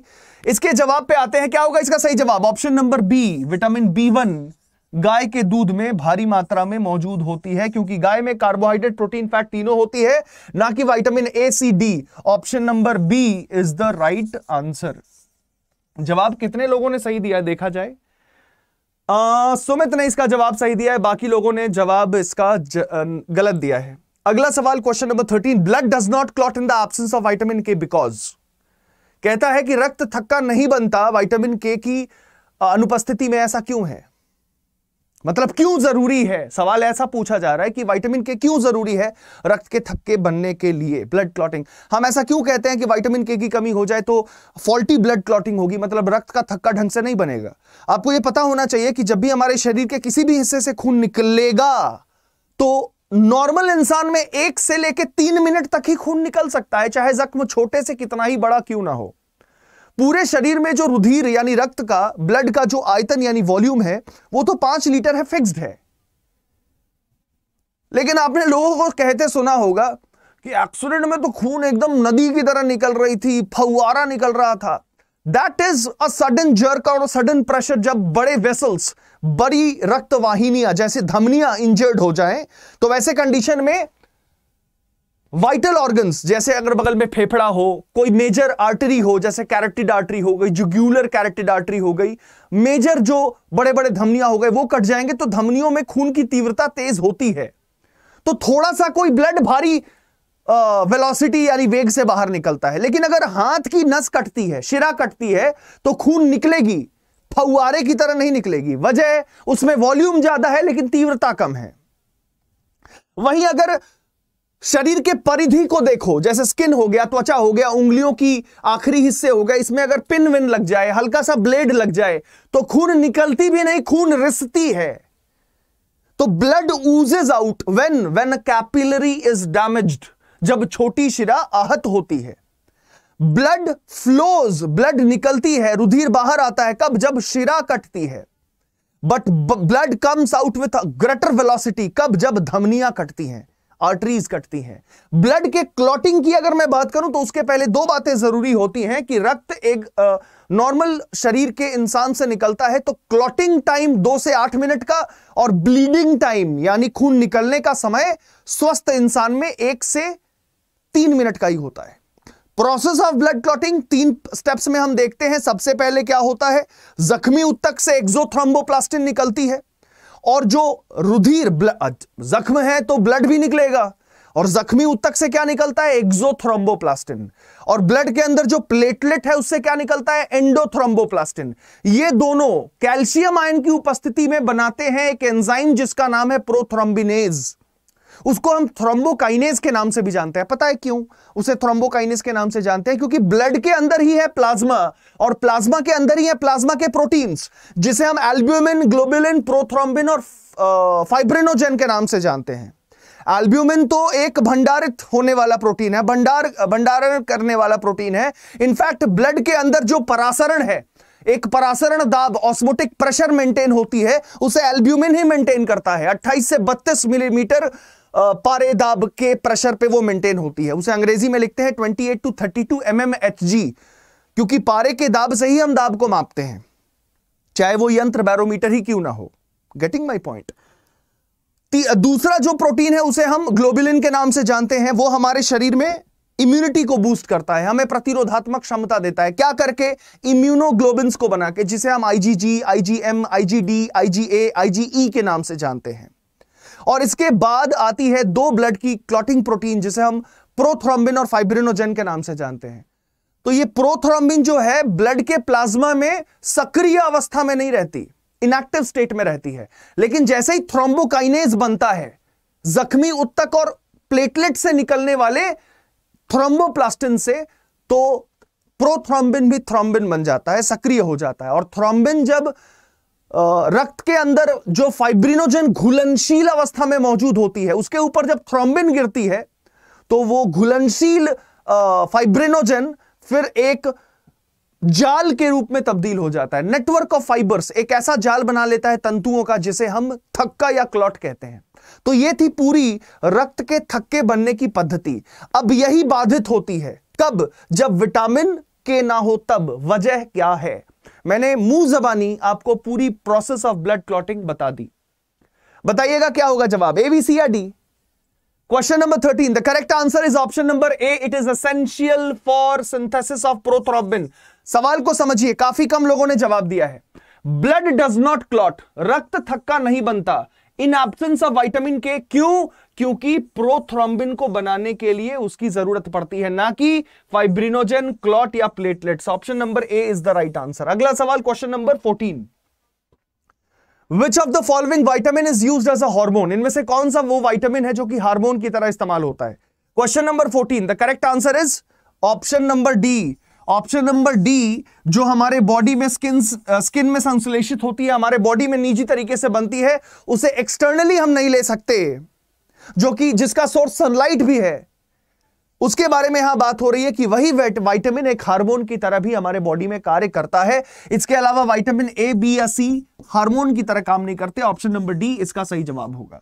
अगला सवाल है क्वेश्चन नंबर पंद्रह। क्वेश्चन नंबर पंद्रह यह कहता है कि vitamin which is generally excreted by humans in urine is वो विटामिन जो इंसान अपने पेशाब में निकालता है बाहर, वो कौन सा विटामिन है? तो एक ऐसा विटामिन जो आपके पेशाब से बाहर निकलता है, वो कौन सा है? Vitamin A vitamin D vitamin C या इनमें से कोई नहीं। क्या होगा जवाब? फटाफट से question number fifteen the correct answer is आप अपने पेशाब में कौन सा विटामिन बहा देते हो? इसका सही जवाब है ए बी सी सही जवाब है option number C vitamin C वो विटामिन है जो आप अपने मूत्र से बाहर निकाल देते हैं या मूत्र में उत्सर्जित कर देते हैं। अगला सवाल question number sixteen which among the following is the richest source of ascorbic acid इनमें से कौन सा वो स्रोत है जिसमें भारी मात्रा में विटामिन सी मौजूद है? ऑप्शन नंबर ए एप्पल दूसरा बीन यानी राजमा, तीसरा कैरेट गाजर, और चौथा ऑप्शन है गुआवा यानी अमरूद। बताइएगा। डायनामाइट गर्ल्स तो तुलिका जवाब दीजिए। It is necessary to clot platelets और fibrinogen yes Swara Anju Bobby Nisha Priyanshi Firdausi जवाब दीजिए। कम ऑन गाइस फटाफट। क्या होना चाहिए? कैरेट पक्का? The correct answer is guava vitamin C का सबसे अच्छा स्रोत अमरूद होता है। ध्यान रखिएगा। विटामिन सी का सबसे बेहतर स्रोत अगर कोई है तो वो अमरूद है। कैरेट नहीं, कैरेट तो विटामिन ए का है। अगला सवाल question number 17 which among the following vitamin is also known as riboflavin riboflavin कौन सा विटामिन को कहते हैं? अब ये देखो, आसान आसान से सवाल है, तेज़ी से करिए। ए बी सी या D the correct answer is riboflavin किसे कहते हैं? थायमिन तो विटामिन बी वन को कहते हैं। और राइबोफ्लेविन विटामिन बी टू को कहते हैं। Option number B is the right answer B twelve तो साइनोकोबालामिन को कहते हैं। Option number B is the right answer अगला सवाल question number 18 which of the following is a good source of vitamin C vitamin C का अच्छा source कौन है? Milk radish lemon juice banana यह क्वेश्चन रिपीट हो गया है। नींबू के रस में विटामिन सी भारी मात्रा में मौजूद होता है। भंडारण करते वक्त कौन सा बर्बाद हो जाए? तो option number C vitamin C बर्बाद हो जाता है। कुछ क्वेश्चंस रिपीट हो गए not to worry richest source of vitamin B one क्या है? होल व्हीट ब्रेड ये भी करवा दिया गया था साबुत रोटी में। भारी मात्रा में वाइटामिन बी वन मौजूद होती है। अब आते हैं खनिज के ऊपर सवाल करते हैं। है ना? मिनरल्स के ऊपर।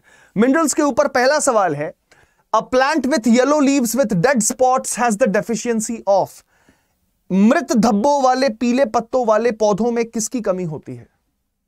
बताइए।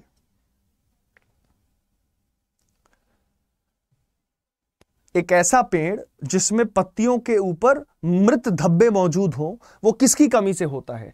पोटेशियम की कमी से, मैग्नीशियम की कमी से, नाइट्रेट या फॉस्फेट, किसकी कमी से होता है? ऑप्शन नंबर ए, पोटेशियम की वजह से होता है। और पौधों के लिए वैसे भी एनपी के बेस्ट फर्टिलाइज़र माना भी जाता है, नाइट्रोजन फॉस्फोरस और potassium. Option number A is the right answer अगला सवाल है क्वेश्चन नंबर 22 कहता है कि which one of the following elements is present in green pigments of leaf तो लीफ की जो हरी रंजक है, उसे हम क्लोरोफिल कहते हैं। तो कौन सा तत्व मौजूद है? मैग्नीशियम, फास्फोरस, आयरन या कैल्शियम? अभी हाल में ही टीजीटी वाले, डी ट्रिपल बी के टीजीटी वाले सेशन में मैंने फोटोसिंथेसिस कराया है। फोटोसिंथेसिस के रंजकों के बारे में आपको सारी जानकारी दी है। क्लोरोफिल की स्ट्रक्चर भी बताई है और क्लोरोफिल के स्ट्रक्चर में मैंने आपको समझाया था कि क्लोरोफिल की अगर आप स्ट्रक्चर देखते हैं तो ऊपर पोरफायरिन की हेड होती है और नीचे फाइटोल टेल होता है। यही है क्लोरोफिल का स्ट्रक्चर यस और नो जिसमें मैग्नेशियम केंद्र में रहता है। Option number A is the right answer कोई दिक्कत, तकलीफ़ नहीं होनी चाहिए। अगला सवाल। Which one is essential for development of healthy teeth but causes mottling of teeth if consumed in higher quantities सवाल यह है कि स्वस्थ दांतों के विकास के लिए कौन सा आवश्यक है? लेकिन अधिक मात्रा में अगर वो सेवन हो जाए तो दांत हिलने लगती हैं। Is it iron is it chlorine is it fluoride और पोटेशियम क्या होगा जवाब? Question number twenty three and the correct answer is A B C the correct answer is option number C those are fluorides आपके paste वगैरह में भी मौजूद होते हैं। तो फ्लोराइड्स आर नेसेसरी वो हमारे दांतों के लिए ज़रूरी है। लेकिन हद से ज़्यादा अगर फ्लोराइड्स का इस्तेमाल आपके पेस्ट या किसी भी फ़ूड सोर्सेस की वजह से हो जाए, आपके बॉडी में फ्लोराइड्स की एक्यूमुलेशन ज़्यादा मात्रा में हो जाए तो आपके दांत हिलने लग सकते हैं, यानी कमज़ोर हो सकते हैं। उसी को मॉटलिंग ऑफ़ टीथ कहा जाता है। अगला सवाल question number 24 the metallic ion found in the chloroplast is वो धात्विक आयन जो क्लोरोप्लास्ट के अंदर, क्लोरोप्लास्ट के अंदर मतलब क्या? ग्राना में। ग्राना मतलब क्या? थाइलाकॉइड में। थाइलाकॉइड मतलब क्या? उसके अंदर मौजूद हरित रंजक क्लोरोफिल के बारे में बात हो रही है। तो वो कौन सा धात्विक आयन है जो क्लोरोफिल के अंदर मौजूद है? ये सवाल धक से बताओ। Option number A, B, C या डी? फटाफट। The metallic ion that is present with in the chloroplast metallic ion बोला है। फिरदौसी का जवाब कोबाल्ट। सही है या गलत? स्वरा ने मैग्नीशियम बताया, दिव्या ने भी मैग्नीशियम बताया। इज़ मैग्नीशियम, अ मेटल और अ नॉन मेटल क्या मैग्नीशियम मेटल है?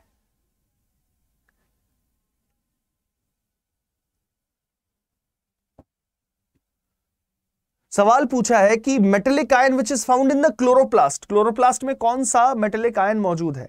Is magnesium a metal? मेरा आपसे सवाल है, क्या मैग्नेशियम एक मेटल है नॉन मेटल है, या मेटलॉइड है? धातु है, अधातु है, या फिर मिश्र धातु है?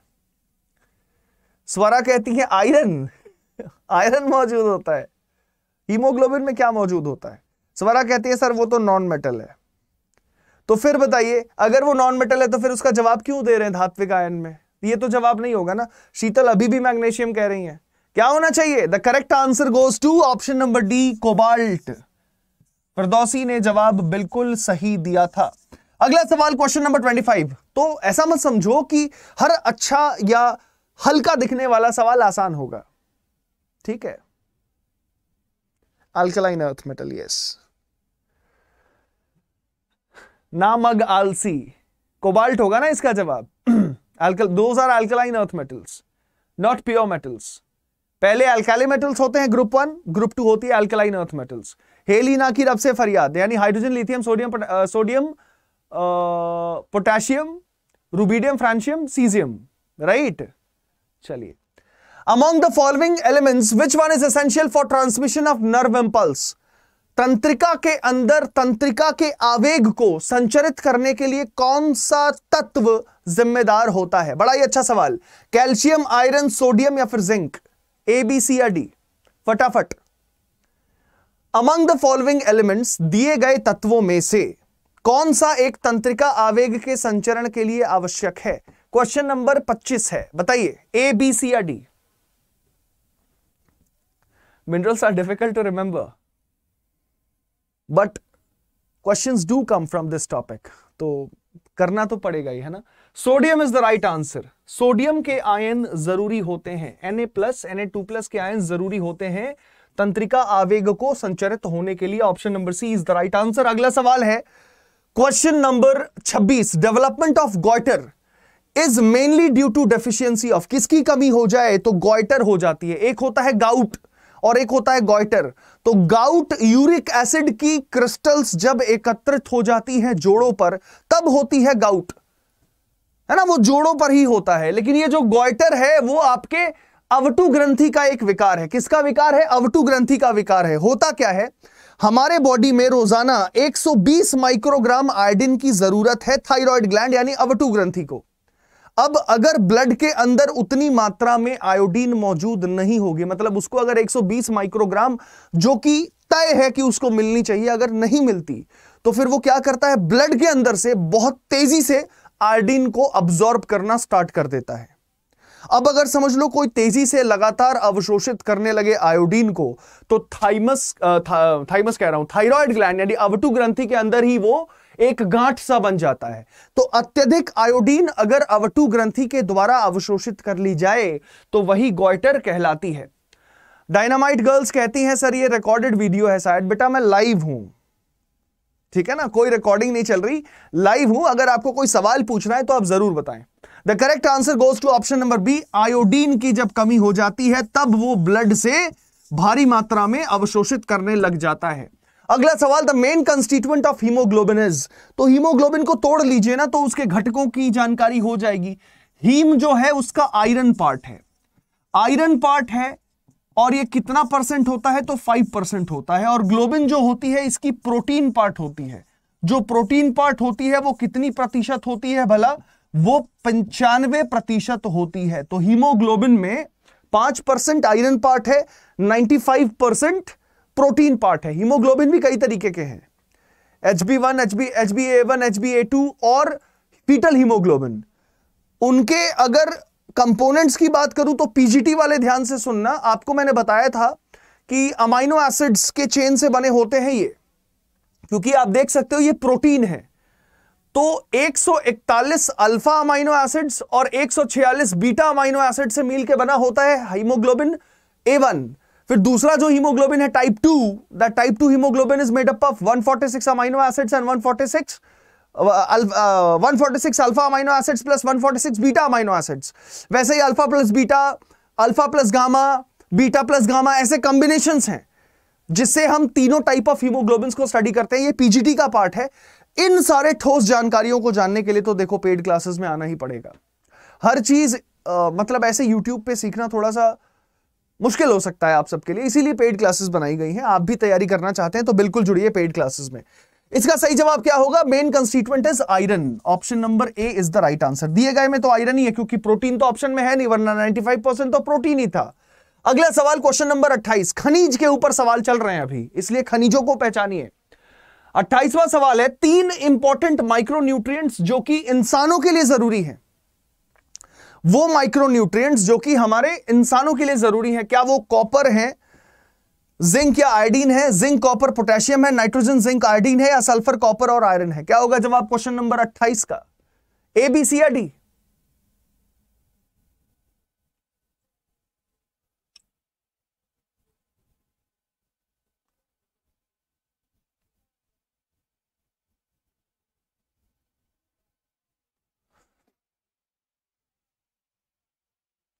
सी पक्का? 28 का सी होगा। आपका जवाब 28 का सी गलत है। थ्री इंपॉर्टेंट माइक्रोन्यूट्रिय जो इंसानों के लिए ज़रूरी है, वो कॉपर है जिंक है और आयोडीन है। इन तीनों की ज़रूरत इंसानों को है। माइक्रोन्यूट्रिएंट्स जिनकी आवश्यकता हमें, हमारे बॉडी को है, वो ऑप्शन नंबर ए है, शालिनी, स्वरा, फिरदौसी। फिरदौसी आपका जवाब गलत हो गया स्वरा, और शालिनी आपका जवाब बिल्कुल सही है। अगला सवाल चलते हैं question number 29 pregnant woman usually become deficient in हर वो गर्भवती महिला के शरीर में किस खनिज की कमी हो जाती है? पहला ऑप्शन है सोडियम और कैल्शियम की, दूसरा ऑप्शन है लोहे और सोडियम की, तीसरा ऑप्शन है कैल्शियम और आयरन की, चौथा ऑप्शन मैग्नीशियम एंड आयरन की। गर्भवती महिलाओं में आमतौर पर किसकी कमी हो जाती है? वो कौन से खनिज हैं जो गर्भवती महिलाओं में हो जाती है? बताइए, कमी किसकी हो जाती है? तो गर्भवती महिलाओं में कैल्शियम की कमी हो जाती है और आयरन की कमी हो जाती है, क्योंकि फीटस को वो कहते हैं ना कि खून से सींचती है माँ। तो जो भी खाएगी माता जी जो भी उनके बॉडी में बनेगा, वो सारा फीटस के बॉडी में जाता है, जिसमें मेजर कंपोनेंट्स कैल्शियम और आयरन होते हैं। कैल्शियम ना हो तो कई सारे इंपॉर्टेंट प्रोसेसेस रुक जाए और आयरन तो मेन कंपोनेंट होती है हीमोग्लोबिन की। अगला सवाल क्वेश्चन नंबर थर्टी तीसवा सवाल deficiency of dash leads to immunodeficiency मतलब किस खनिज की कमी हो जाएगी जिससे प्रतिरोधात्मक शक्ति में कमी आ जाए? क्या वह कैल्शियम है जिंक है लेड है या फिर कॉपर है? बताइएगा। ए बी या सी या डी? कैंडी नमस्कार नमस्कार नमस्कार नमस्कार। बताइए, किसकी कमी हो जाए कि प्रतिरोधात्मक शक्ति में कमी आ जाती है? ऑप्शन नंबर बी जिंक की अगर कमी हो जाए ना बॉडी में तो आपकी इम्यूनिटी यानी जो बीमारियों से लड़ने का जो कुबत है, आपके अंदर जो प्रतिजैवक लगातार बनते रहते हैं एंटीबॉडीज बनते रहते हैं, जब भी कोई फॉरेन एंटीजन आता है, आपके बॉडी से टकराने की कोशिश करता है मैं नॉर्मल एक एग्ज़ाम्पल लेके समझाता हूँ, मान लो कि अभी जैसे मैं पढ़ा ही रहा हूँ तो जिस कमरे में हूँ, उसमें कई सारे एरोबिक और कई सारे ऐसे माइक्रो ऑर्गेनिजम्स हैं जो सरफेस या बाकी डिफरेंट टाइप्स ऑफ़ सरफेसेस से चिपके हुए हैं, जिनको मैं टच कर रहा हूँ। वो ऐसे तो नहीं दिखेंगे, लेकिन सिंपल माइक्रोस्कोप या इलेक्ट्रॉन माइक्रोस्कोप से बड़े ही अच्छे से दिखेंगे, कितनी भारी तादाद में मौजूद है। लेकिन फिर भी हम इतनी आसान आसानी से बैक्टीरियल इन्फेक्शन या वायरल या फंगल इन्फेक्शन या प्रोटोजोआन इन्फेक्शन से संक्रमित नहीं होते। लेकिन अगर इनकी मात्रा कहीं ना कहीं ज़्यादा बढ़ जाती है तब हम उसके चपेट में आ जाते हैं जिसके लिए हमें एंटी फंगल से एंटी बैक्टीरियल या एंटीवायरल्स लेने पड़ते हैं। वहीं एक आ, ऐसा पेशेंट जो एचआईवी से जूझ रहा है जिसकी प्रतिरोधात्मक शक्ति का हनन हो चुका है कब्जा हो चुका है उस वायरस के द्वारा वो अपॉर्चुनिस्टिक हो जाती है। मतलब उसको आम गंदगी जो जो, जिसका कोई असर आपके बॉडी पे नहीं हो रहा है, वो उसके बॉडी पे होने लग रहा है। वजह क्या है? उसके बॉडी में एंटीबॉडीज का फॉर्मेशन नहीं हो रहा क्योंकि प्रतिरोधात्मक शक्ति किसी का गुलाम हो चुका है। लेकिन आप अगर स्वस्थ हैं तो वजह यह है कि आपके इर्द गिर्द जितने भी जीवाणु हैं, वो भी असरदार हैं, लेकिन आपके बॉडी में भी लगातार उतने प्रतिजैवक बन रहे हैं जो उससे जूझ रहे हैं। आप खाना खाते हो, आपके लार में ही एंटीबैक्टीरियल एजेंट है एंटी माइक्रोबियल यानी कीटाणुओं से लड़ने वाले पदार्थ हैं। बॉडी में कई सारे ऐसे एंजाइम्स कई सारी ऐसी माध्यम है, जो उन कीटाणुओं को, विषाणुओं को या जीवाणुओं को पनपने नहीं देती। ध्यान देना पड़ेगा। लक्ष्मण जी, नमस्कार वेलकम बिल्कुल बिल्कुल। कभी इम्यूनिटी को भी समझाऊँगा। इम्यूनिटी और वैक्सीनेशन एक इंपॉर्टेंट टॉपिक है। आपके बॉडी में कितने तरीके के बैरियर्स हैं कि कोई भी अगर फॉरेन एंटीजन आपके बॉडी में आके किसी विकार को अग्रसर करना चाहे, यानी किसी विकार को फैलाना चाहे, उसको डेवलप करवाना चाहे तो बॉडी किस तरीके से लड़ती है? बॉडी के कौन कौन से बैरियर्स होते हैं? वो बैरियर्स भी मैं आपको कभी बताऊँगा किसी सेशन में। अगले सवाल पे चलते हैं question number thirty one dash are the elements ये वो तत्व हैं विदाउट विच जिसके बिना the plants will not be able to complete its life cycle जिसके बिना पौधे अपने जीवन चक्र को कंप्लीट नहीं कर पाएँगे। फर्टिलाइजर्स, उर्वरक माइक्रो एलिमेंट्स मैक्रो एलिमेंट्स या फिर एसेंशियल एलिमेंट्स क्या होगा जवाब? क्वेश्चन नंबर इकतीस, और इसका सही जवाब होगा ए बी सी या डी उर्वरक micro elements macro elements essential elements तो पौधों को, देखो एसेंशियल और बेनिफिशियल में अंतर क्या है? एसेंशियल का मतलब होगा अगर ये नहीं मिलेगा तो काम नहीं चलेगा। और बेनिफिशियल का मतलब है कि ऐसा नहीं कि नहीं मिलेगा तो काम नहीं चलेगा। लेकिन अगर मिल जाए तो दिक्कत क्या है? फ़ायदा ही है। जैसे हमें अपनी ज़िंदगी को बसर करने के लिए भोजन यानी पोषण की ज़रूरत है। नेसेसिटी है वो। लागत है वो हमारी। लेकिन अग, आ, मुझे एक बीएमडब्ल्यू कार चाहिए वो अगर मिल जाए तो क्या दिक्कत है? बेनिफिशियल होगी मेरे लिए। कोई ना कोई काम मैं कर लूँगा उससे। लेकिन ज़रूरी नहीं है। लेकिन पोषण ज़रूरी है। तो फ़ूड बेनिफिशियल एसेंशियल होगी। बीएमडब्ल्यू या पोर्शे ये हमारे लिए बेनिफिशियल होगी। गेटिंग माई पॉइंट ठीक उसी तरीके से। पौधों में बहुत ऐसे खनिज हैं, जो उनको मिल जाए तो कोई दिक्कत नहीं है। कई सारे ऐसे इनडायरेक्ट काम है जो उनमें होने लगे लेकिन बहुत सारे ऐसे भी खनिज हैं जो ना मिले तो उनकी मृत्यु हो जाएगी। कई सारे ऐसे क्रियाएँ हैं जो बाधित होने लगेंगी। उन्हें हम माइक्रो न्यूट्रिएंट्स कहते हैं and they are option number D आवश्यक तत्व।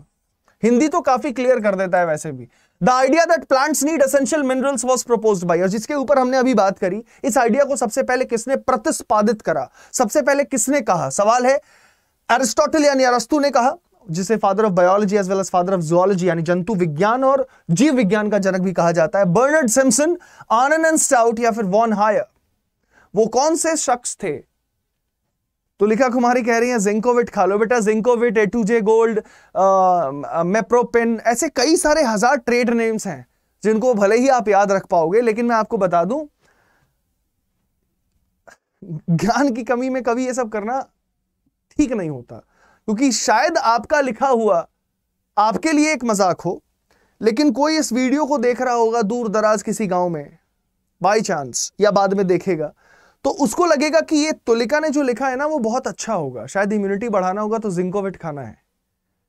तो ये गलत हो जाएगा राइट सिर्फ़ जिंकोविट खाने से इम्यूनिटी नहीं बढ़ेगी। हमारे बॉडी को स्वस्थ रखने के लिए तीन चीज़ें ज़रूरी है। जितनी भोजन की ज़रूरत है, यानी जितनी पोषण की ज़रूरत है पोषण का मतलब है जितनी मात्रा में विटामिन जितनी मात्रा में कार्बोहाइड्रेट जितनी मात्रा में प्रोटीन जितनी मात्रा में वसा, जितनी मात्रा में खनिज चाहिए, उतनी ही मात्रा में अगर भोजन मिले तब आप स्वस्थ रहोगे। इसके बाद बस इतना ही करने से नहीं होगा। उसके बाद आपको अपने शरीर को, जो आपके लिए एक मंदिर है, आपके लिए अपना पर्यावरण है, इस पर्यावरण को आपको खुद ही साफ़ रखना पड़ेगा, क्योंकि यही है सिस्टम यही है ऑर्गेनिज्म जो कि तंत्र के समूहों से बना है, जिसे ऑर्गन सिस्टम कहते हैं। वो तंत्रों से बना है, जिसे ऑर्गन कहते हैं, और ऑर्गन टिश्यू से बना है, जिसे उत्तक कहते हैं, और उत्तक बना है कोशिकाओं से, जिसे आप जीवन की इकाई, यानी यूनिट ऑफ़ लाइफ कहते हैं। गेटिंग माई पॉइंट मज़ाक अलग जगह है, लेकिन मैं इसलिए थोड़ा सा इसको रोक के थोड़ा सा मैंने इसे एक्सपैंड करा। वजह यह है कि जिसको बस आप एक नाम समझते हैं, वो तो एक ट्रेड नेम है, लेकिन इसके पीछे की गहराई को समझिए एमबीबीएस यानी bachelor of medicine and bachelor of surgery के सेकेंड ईयर में तीन महीने आपको पढ़ना, लगभग छह महीने पढ़ना पड़ता है एक सब्जेक्ट जिसका नाम है फार्माकोलॉजी। फार्माकोलॉजी को भी, के भी दो डोमेन होते हैं। एक होता है फार्माकोडायनामिक्स और एक होता है फार्माकोकाइनेटिक्स। फार्माकोडायनामिक्स में हम बॉडी पे ड्रग का असर पड़ते हैं और फार्माकोकाइनेटिक्स में हम ड्रग का असर बॉडी पे पड़ते हैं। तो ऐसा नहीं है कि दवाई खाए तो ठीक ही हो जाओगे। ऐसा हो सकता है कि दवाई आपके शरीर में असर नहीं करा, क्योंकि बॉडी ने रिस्पॉन्ड नहीं करा। और कहीं दवाई खाते ही आप ठीक हो जाते हो। वजह यह कि बॉडी ने भी रिस्पॉन्ड कर दिया ड्रग ने भी रिस्पॉन्ड कर दिया। तो जब ये बोथ साइड रिस्पॉन्स होती है, तब भी तो कुछ का वो कहते हैं ना कि एक हाथ से ताली नहीं बजती। उसी एक हाथ के ताली की बात मेडिसिन में भी है फार्माकोडायनामिक्स एंड फार्माकोकाइनेटिक्स तो मेडिसिन इज़ वास्ट तो मज़ाक सही नहीं है। बहरहाल आर्नोन एंड स्टाउट वो व्यक्ति थे जिन्होंने इस बात को प्रतिस्पादित करा कि भाई, पौधों को खनिज की ज़रूरत है अगर खनिज उन्हें ना मिले तो वो जीवित ही नहीं, उनके कई सारे कार्य भी बाधित हो जाएँगे। Dash is an important mineral nutrient. इनमें से कौन सा एक ज़रूरी खनिज तत्व है? हाइड्रोजन, नाइट्रोजन, ऑक्सीजन या कार्बन? क्या लगता है कि एक ज़रूरी खनिज तत्व कौन है? तो ज़रूरी खनिज तत्व पौधों के लिए एनपीके कहा जाता है ना, नाइट्रोजन, पोटेशियम एंड फॉस्फोरस। इसमें कौन दिख रहा है? सिर्फ़ नाइट्रोजन ही दिख रहा है? तो ऑप्शन नंबर बी सही जवाब होगा। इतना टेंशन क्यों लेने का? अब ध्यान से देखिए थोड़ा थोड़ा ना आपको रिलेट करना चाहिए। इतना जब स्टडी कर रहे हो तो थोड़ा रिलेट करना चाहिए, क्योंकि आप शिक्षक बनने के लिए आए हैं, आप शिक्षक होंगे भी। अपनी कद, काठी को और बढ़ाने के लिए आप अलग अलग एग्जामिनेशन दे रहे हैं अलग अलग संस्थानों में जुड़ने की कोशिश कर रहे हैं तो आपकी जो वाकपटुता होगी, आपके ज्ञान से ही साबित होगी जब आप बच्चों को अपने लिहाजे में उन ज्ञान की बातों को बताएँ जो किताबों में अंकित है अब तक। ठीक है ना? जैसे आप ट्राई टू आपको समझने की कोशिश करें ट्राई टू अंडरस्टैंड प्लांट को कार्बन डाइऑक्साइड चाहिए ऑक्सीजन निकाल देता है। हमें क्या चाहिए? ऑक्सीजन चाहिए कार्बन डाइऑक्साइड निकाल देते हैं। गेटिंग माई पॉइंट यहाँ पे देखिए हम नाइट्रोजिनस वेस्ट को निकालते हैं। यूरिया यूरिक एसिड क्रिएटिनिन क्या है? नाइट्रोजिनस वेस्ट यानी नाइट्रोजन युक्त तो उत्सर्जी पदार्थ है। और पौधे को क्या चाहिए? नाइट्रोजन ही चाहिए। तो ये एक बैलेंस है जो नेचर में बना हुआ है। पौधा जो चाहिए, हम उसे गिराते हैं।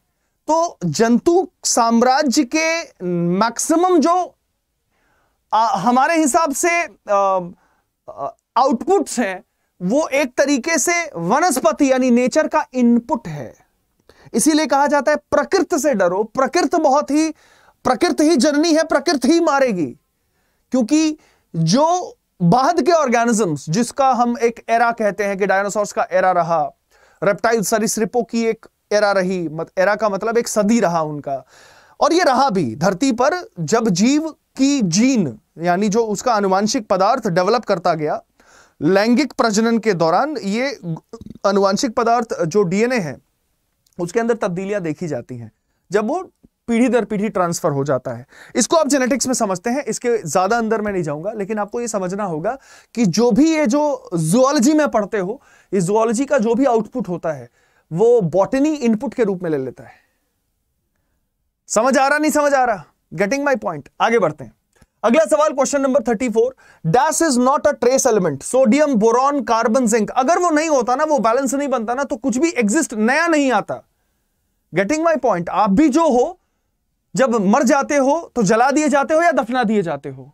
तो बने किससे हो? कार्बन और वही सारे खनिज बॉडी में है। वो सॉइल में जाता है सॉइल वापस उसको न्यूट्रिएंट्स के रूप में ले लेता है। और फिर फल, सब्ज़ी बनती है और उसी को आप खाते हो, उसी से जीते हो। It is just a cycle it is which is not a trace element trace मतलब जो बहुत कम मात्रा में पाई जाए तो इनमें से कौन कम मात्रा में नहीं पाई जाती? सोडियम बोरॉन कार्बन या जिंक बताइए क्या होगा सही जवाब? Question number thirty four A B C या डी तो सबसे कम मात्रा में कौन सी नहीं पा जाती? और ये मैं बता दूँ एनिमल्स के रेस्पेक्ट में नहीं प्लांट्स के रेस्पेक्ट में कही जा रही है।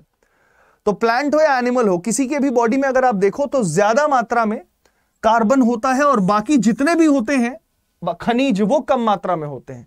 लेकिन कार्बन भारी मात्रा में होता है with respect to other minerals बाकी खनिज या तत्वों के रेस्पेक्ट में कार्बन की जो प्रतिशतता होती है पादप शरीर हो या फिर जंतु शरीर हो वो ज़्यादा है।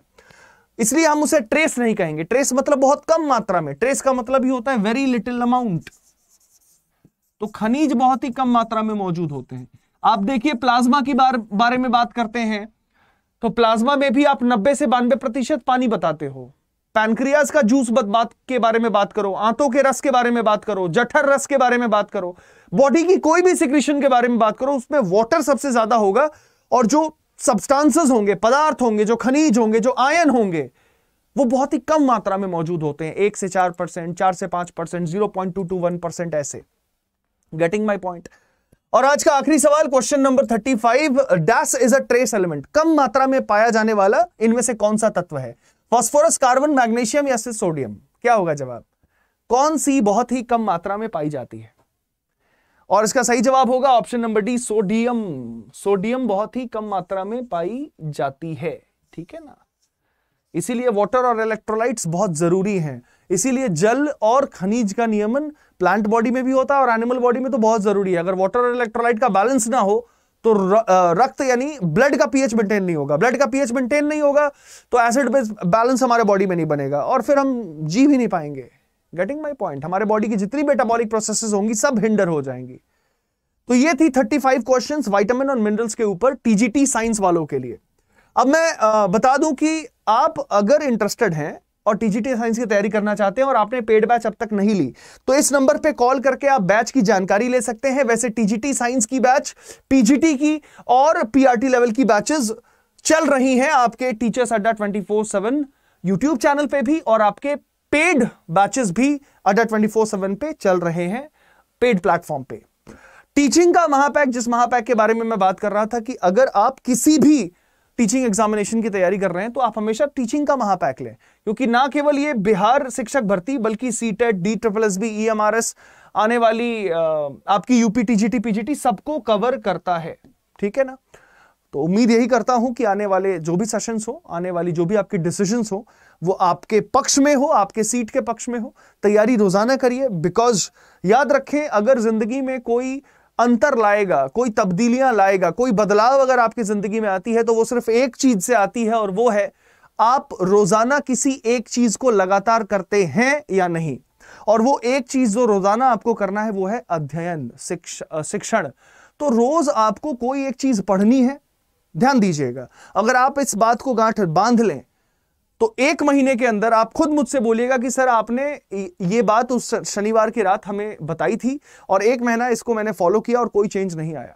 आप बस एक बात मेरी मान लें, आप किसी भी एक छोटी टॉपिक को रोज़ाना स्टडी करें, जो नई हो, और उसको किसी को पढ़ा लें। जब आपको समझ में आए तो आप किसी को भी, घर के सदस्य को, कोई एक छोटा बच्चा हो, आपका स्टूडेंट हो, आपके सहपाठी, आपके सगे संबंधी हो, उनको समझाओ, बताओ, इससे क्या होगी? रिविजन ऑटोमेटिकली और साथ साथ साथ हो जाती है। और रोज ये करने की कोशिश करो। At the end of thirty days जितने भी टॉपिक्स आपने सीखे, आप खुद देखोगे कि काफ़ी इजाफा हुआ आपके अंदर। लेकिन करना क्या है? वो है एवरी डे रोज होना चाहिए वो। ऐसा नहीं कि कल परसों तो किया था, पिछले हफ़्ते में किया था, आप ब्रेक लेंगे। सांस चाहिए कि नहीं जीने के लिए? तो जितनी ज़रूरी आपके लिए साँसें हैं, उतनी ज़रूरी एक घंटे की अध्ययन एट मिनिमम तो होनी चाहिए। आंधी तूफ़ान आ गया, कुछ नहीं हुआ, लेकिन एक घंटा मैंने स्टडी किया। अब सवाल है कि क्या सर एक घंटे की स्टडी से शिक्षक बन जाते हैं? अरे मैं तो उनके लिए कह रहा हूँ जो किताब देखते भी नहीं और सिर्फ़ यूट्यूब देख लेते हैं और उनको लगता है कि उनका शिक्षण पूरा हो गया। देखिए, आप कितने भी यूट्यूब सेशंस ले लें, कितनी भी पेड बैचेस खरीद लें, जब तक आप सेल्फ स्टडी नहीं कर रहे इसका कोई फ़ायदा नहीं होने वाला है। हम आपको सिर्फ़ मार्ग दिखा सकते हैं कि रास्ता क्या है, किस तरीके से आपको सिलेक्शन मिल सकती है। कहाँ कौन सी बैच लोगे तो कौन सी चीज़ आप पढ़ आप पढ़ पाओगे क्या क्या उसके साथ मिल पाएँगी और वहाँ आपको रास्ता दिखाया जा सकता है। लेकिन उसके बाद जब पेड बैच खत्म हो जाए, जब वाईटी सेशन खत्म हो जाए, जैसे मैंने अभी पैंतीस सवाल करा लिया, इसके बाद आप क्या करना है? ये सिर्फ़ आप जानते हैं, कोई नहीं जानने वाला। तो दैट मैटर्स वो ज़रूरी है और वो है एवरीडे तो आप शिक्षण करिए, अपना अध्ययन करिए, रोज़ाना करिए। It is every day that matters इस लाइन को याद रखना कहीं लिख लेना दीवार पे बड़े से आ, अक्षरों में लिख लेना कि it is every day that matters रोज़ाना जो चीज़ हो वही मैटर करती है लाइफ में। वरना बाकी सारे तो यादें बन ही जाती हैं। और यादों यादें बनाने में हम बहुत माहिर हैं है ना? और फिर उन यादों के सहारे रोना है ना? कभी खुशी मनाना। लेकिन आप भी सोचो अगर वो चीज़ जो रोज़ाना हो उससे आप तरोताजा हमेशा जवान रहेंगे, इसलिए शिक्षा कभी बूढ़ी नहीं होती। शिक्षा, ज्ञान हमेशा नौजवान रहती है। तो अपने ज्ञान को और बढ़ाएँ और उसमें सहभागी होने वाला है टीचर्स अड्डा की पूरी टीम। टीचर्स अड्डा की पूरी टीम के साथ आप जो भी एग्जामिनेशन की तैयारी करना चाहते हैं, वो इस महापैक के द्वारा पूरा हो जाता है। Coupon code Y double two three लगा लीजिएगा, जिससे आपको मैक्सिमम डिस्काउंट कोर्सेज पे मिल जाए। और अगर आप किताबें खोज रहे हैं, कोई ऑफलाइन किताबें आपको मिल चाहिए तो बिहार के बॉटनी जुआलॉजी टीजीटी साइंस के लिए स्पेशल केमिस्ट्री के लिए स्पेशल ऑफलाइन किताबें भी हमने बनाई हैं, जिसमें सारे एमसीक्यूज टॉपिक वाइज हैं। तो अगर आपको वो ऑफलाइन किताब चाहिए, वो भी हिंदी में, अंग्रेज़ी में तो आप बिहार के टीजीटी पीजीटी बुक्स को खरीदने के लिए अड्डा ट्वेंटी फोर सेवन ऐप पे जाएँगे और कूपन कोड लगाएँगे Y double two three S ये तो हो गई बिहार शिक्षक भर्ती के स्टूडेंट्स के लिए। बाकी जो हमारे ई e और डी ट्रिपल बी के एस्पिरेंट्स हैं, उनके लिए मंडे से सेशन यूट्यूब पे फ्री से स्टार्ट हो रही है फ्री में स्टार्ट हो रही है। तो रोज़ाना जुड़, जुड़ते रहिएगा और नई नई बातें विज्ञान की सीखते रहिएगा। That's it from today's class will meet again tomorrow right at three P M with a new and बढ़िया वाला information in the field of botany. Till then, take care of yourself and have a wonderful night ahead. Jai Hind, Jai Bharat. Thank you.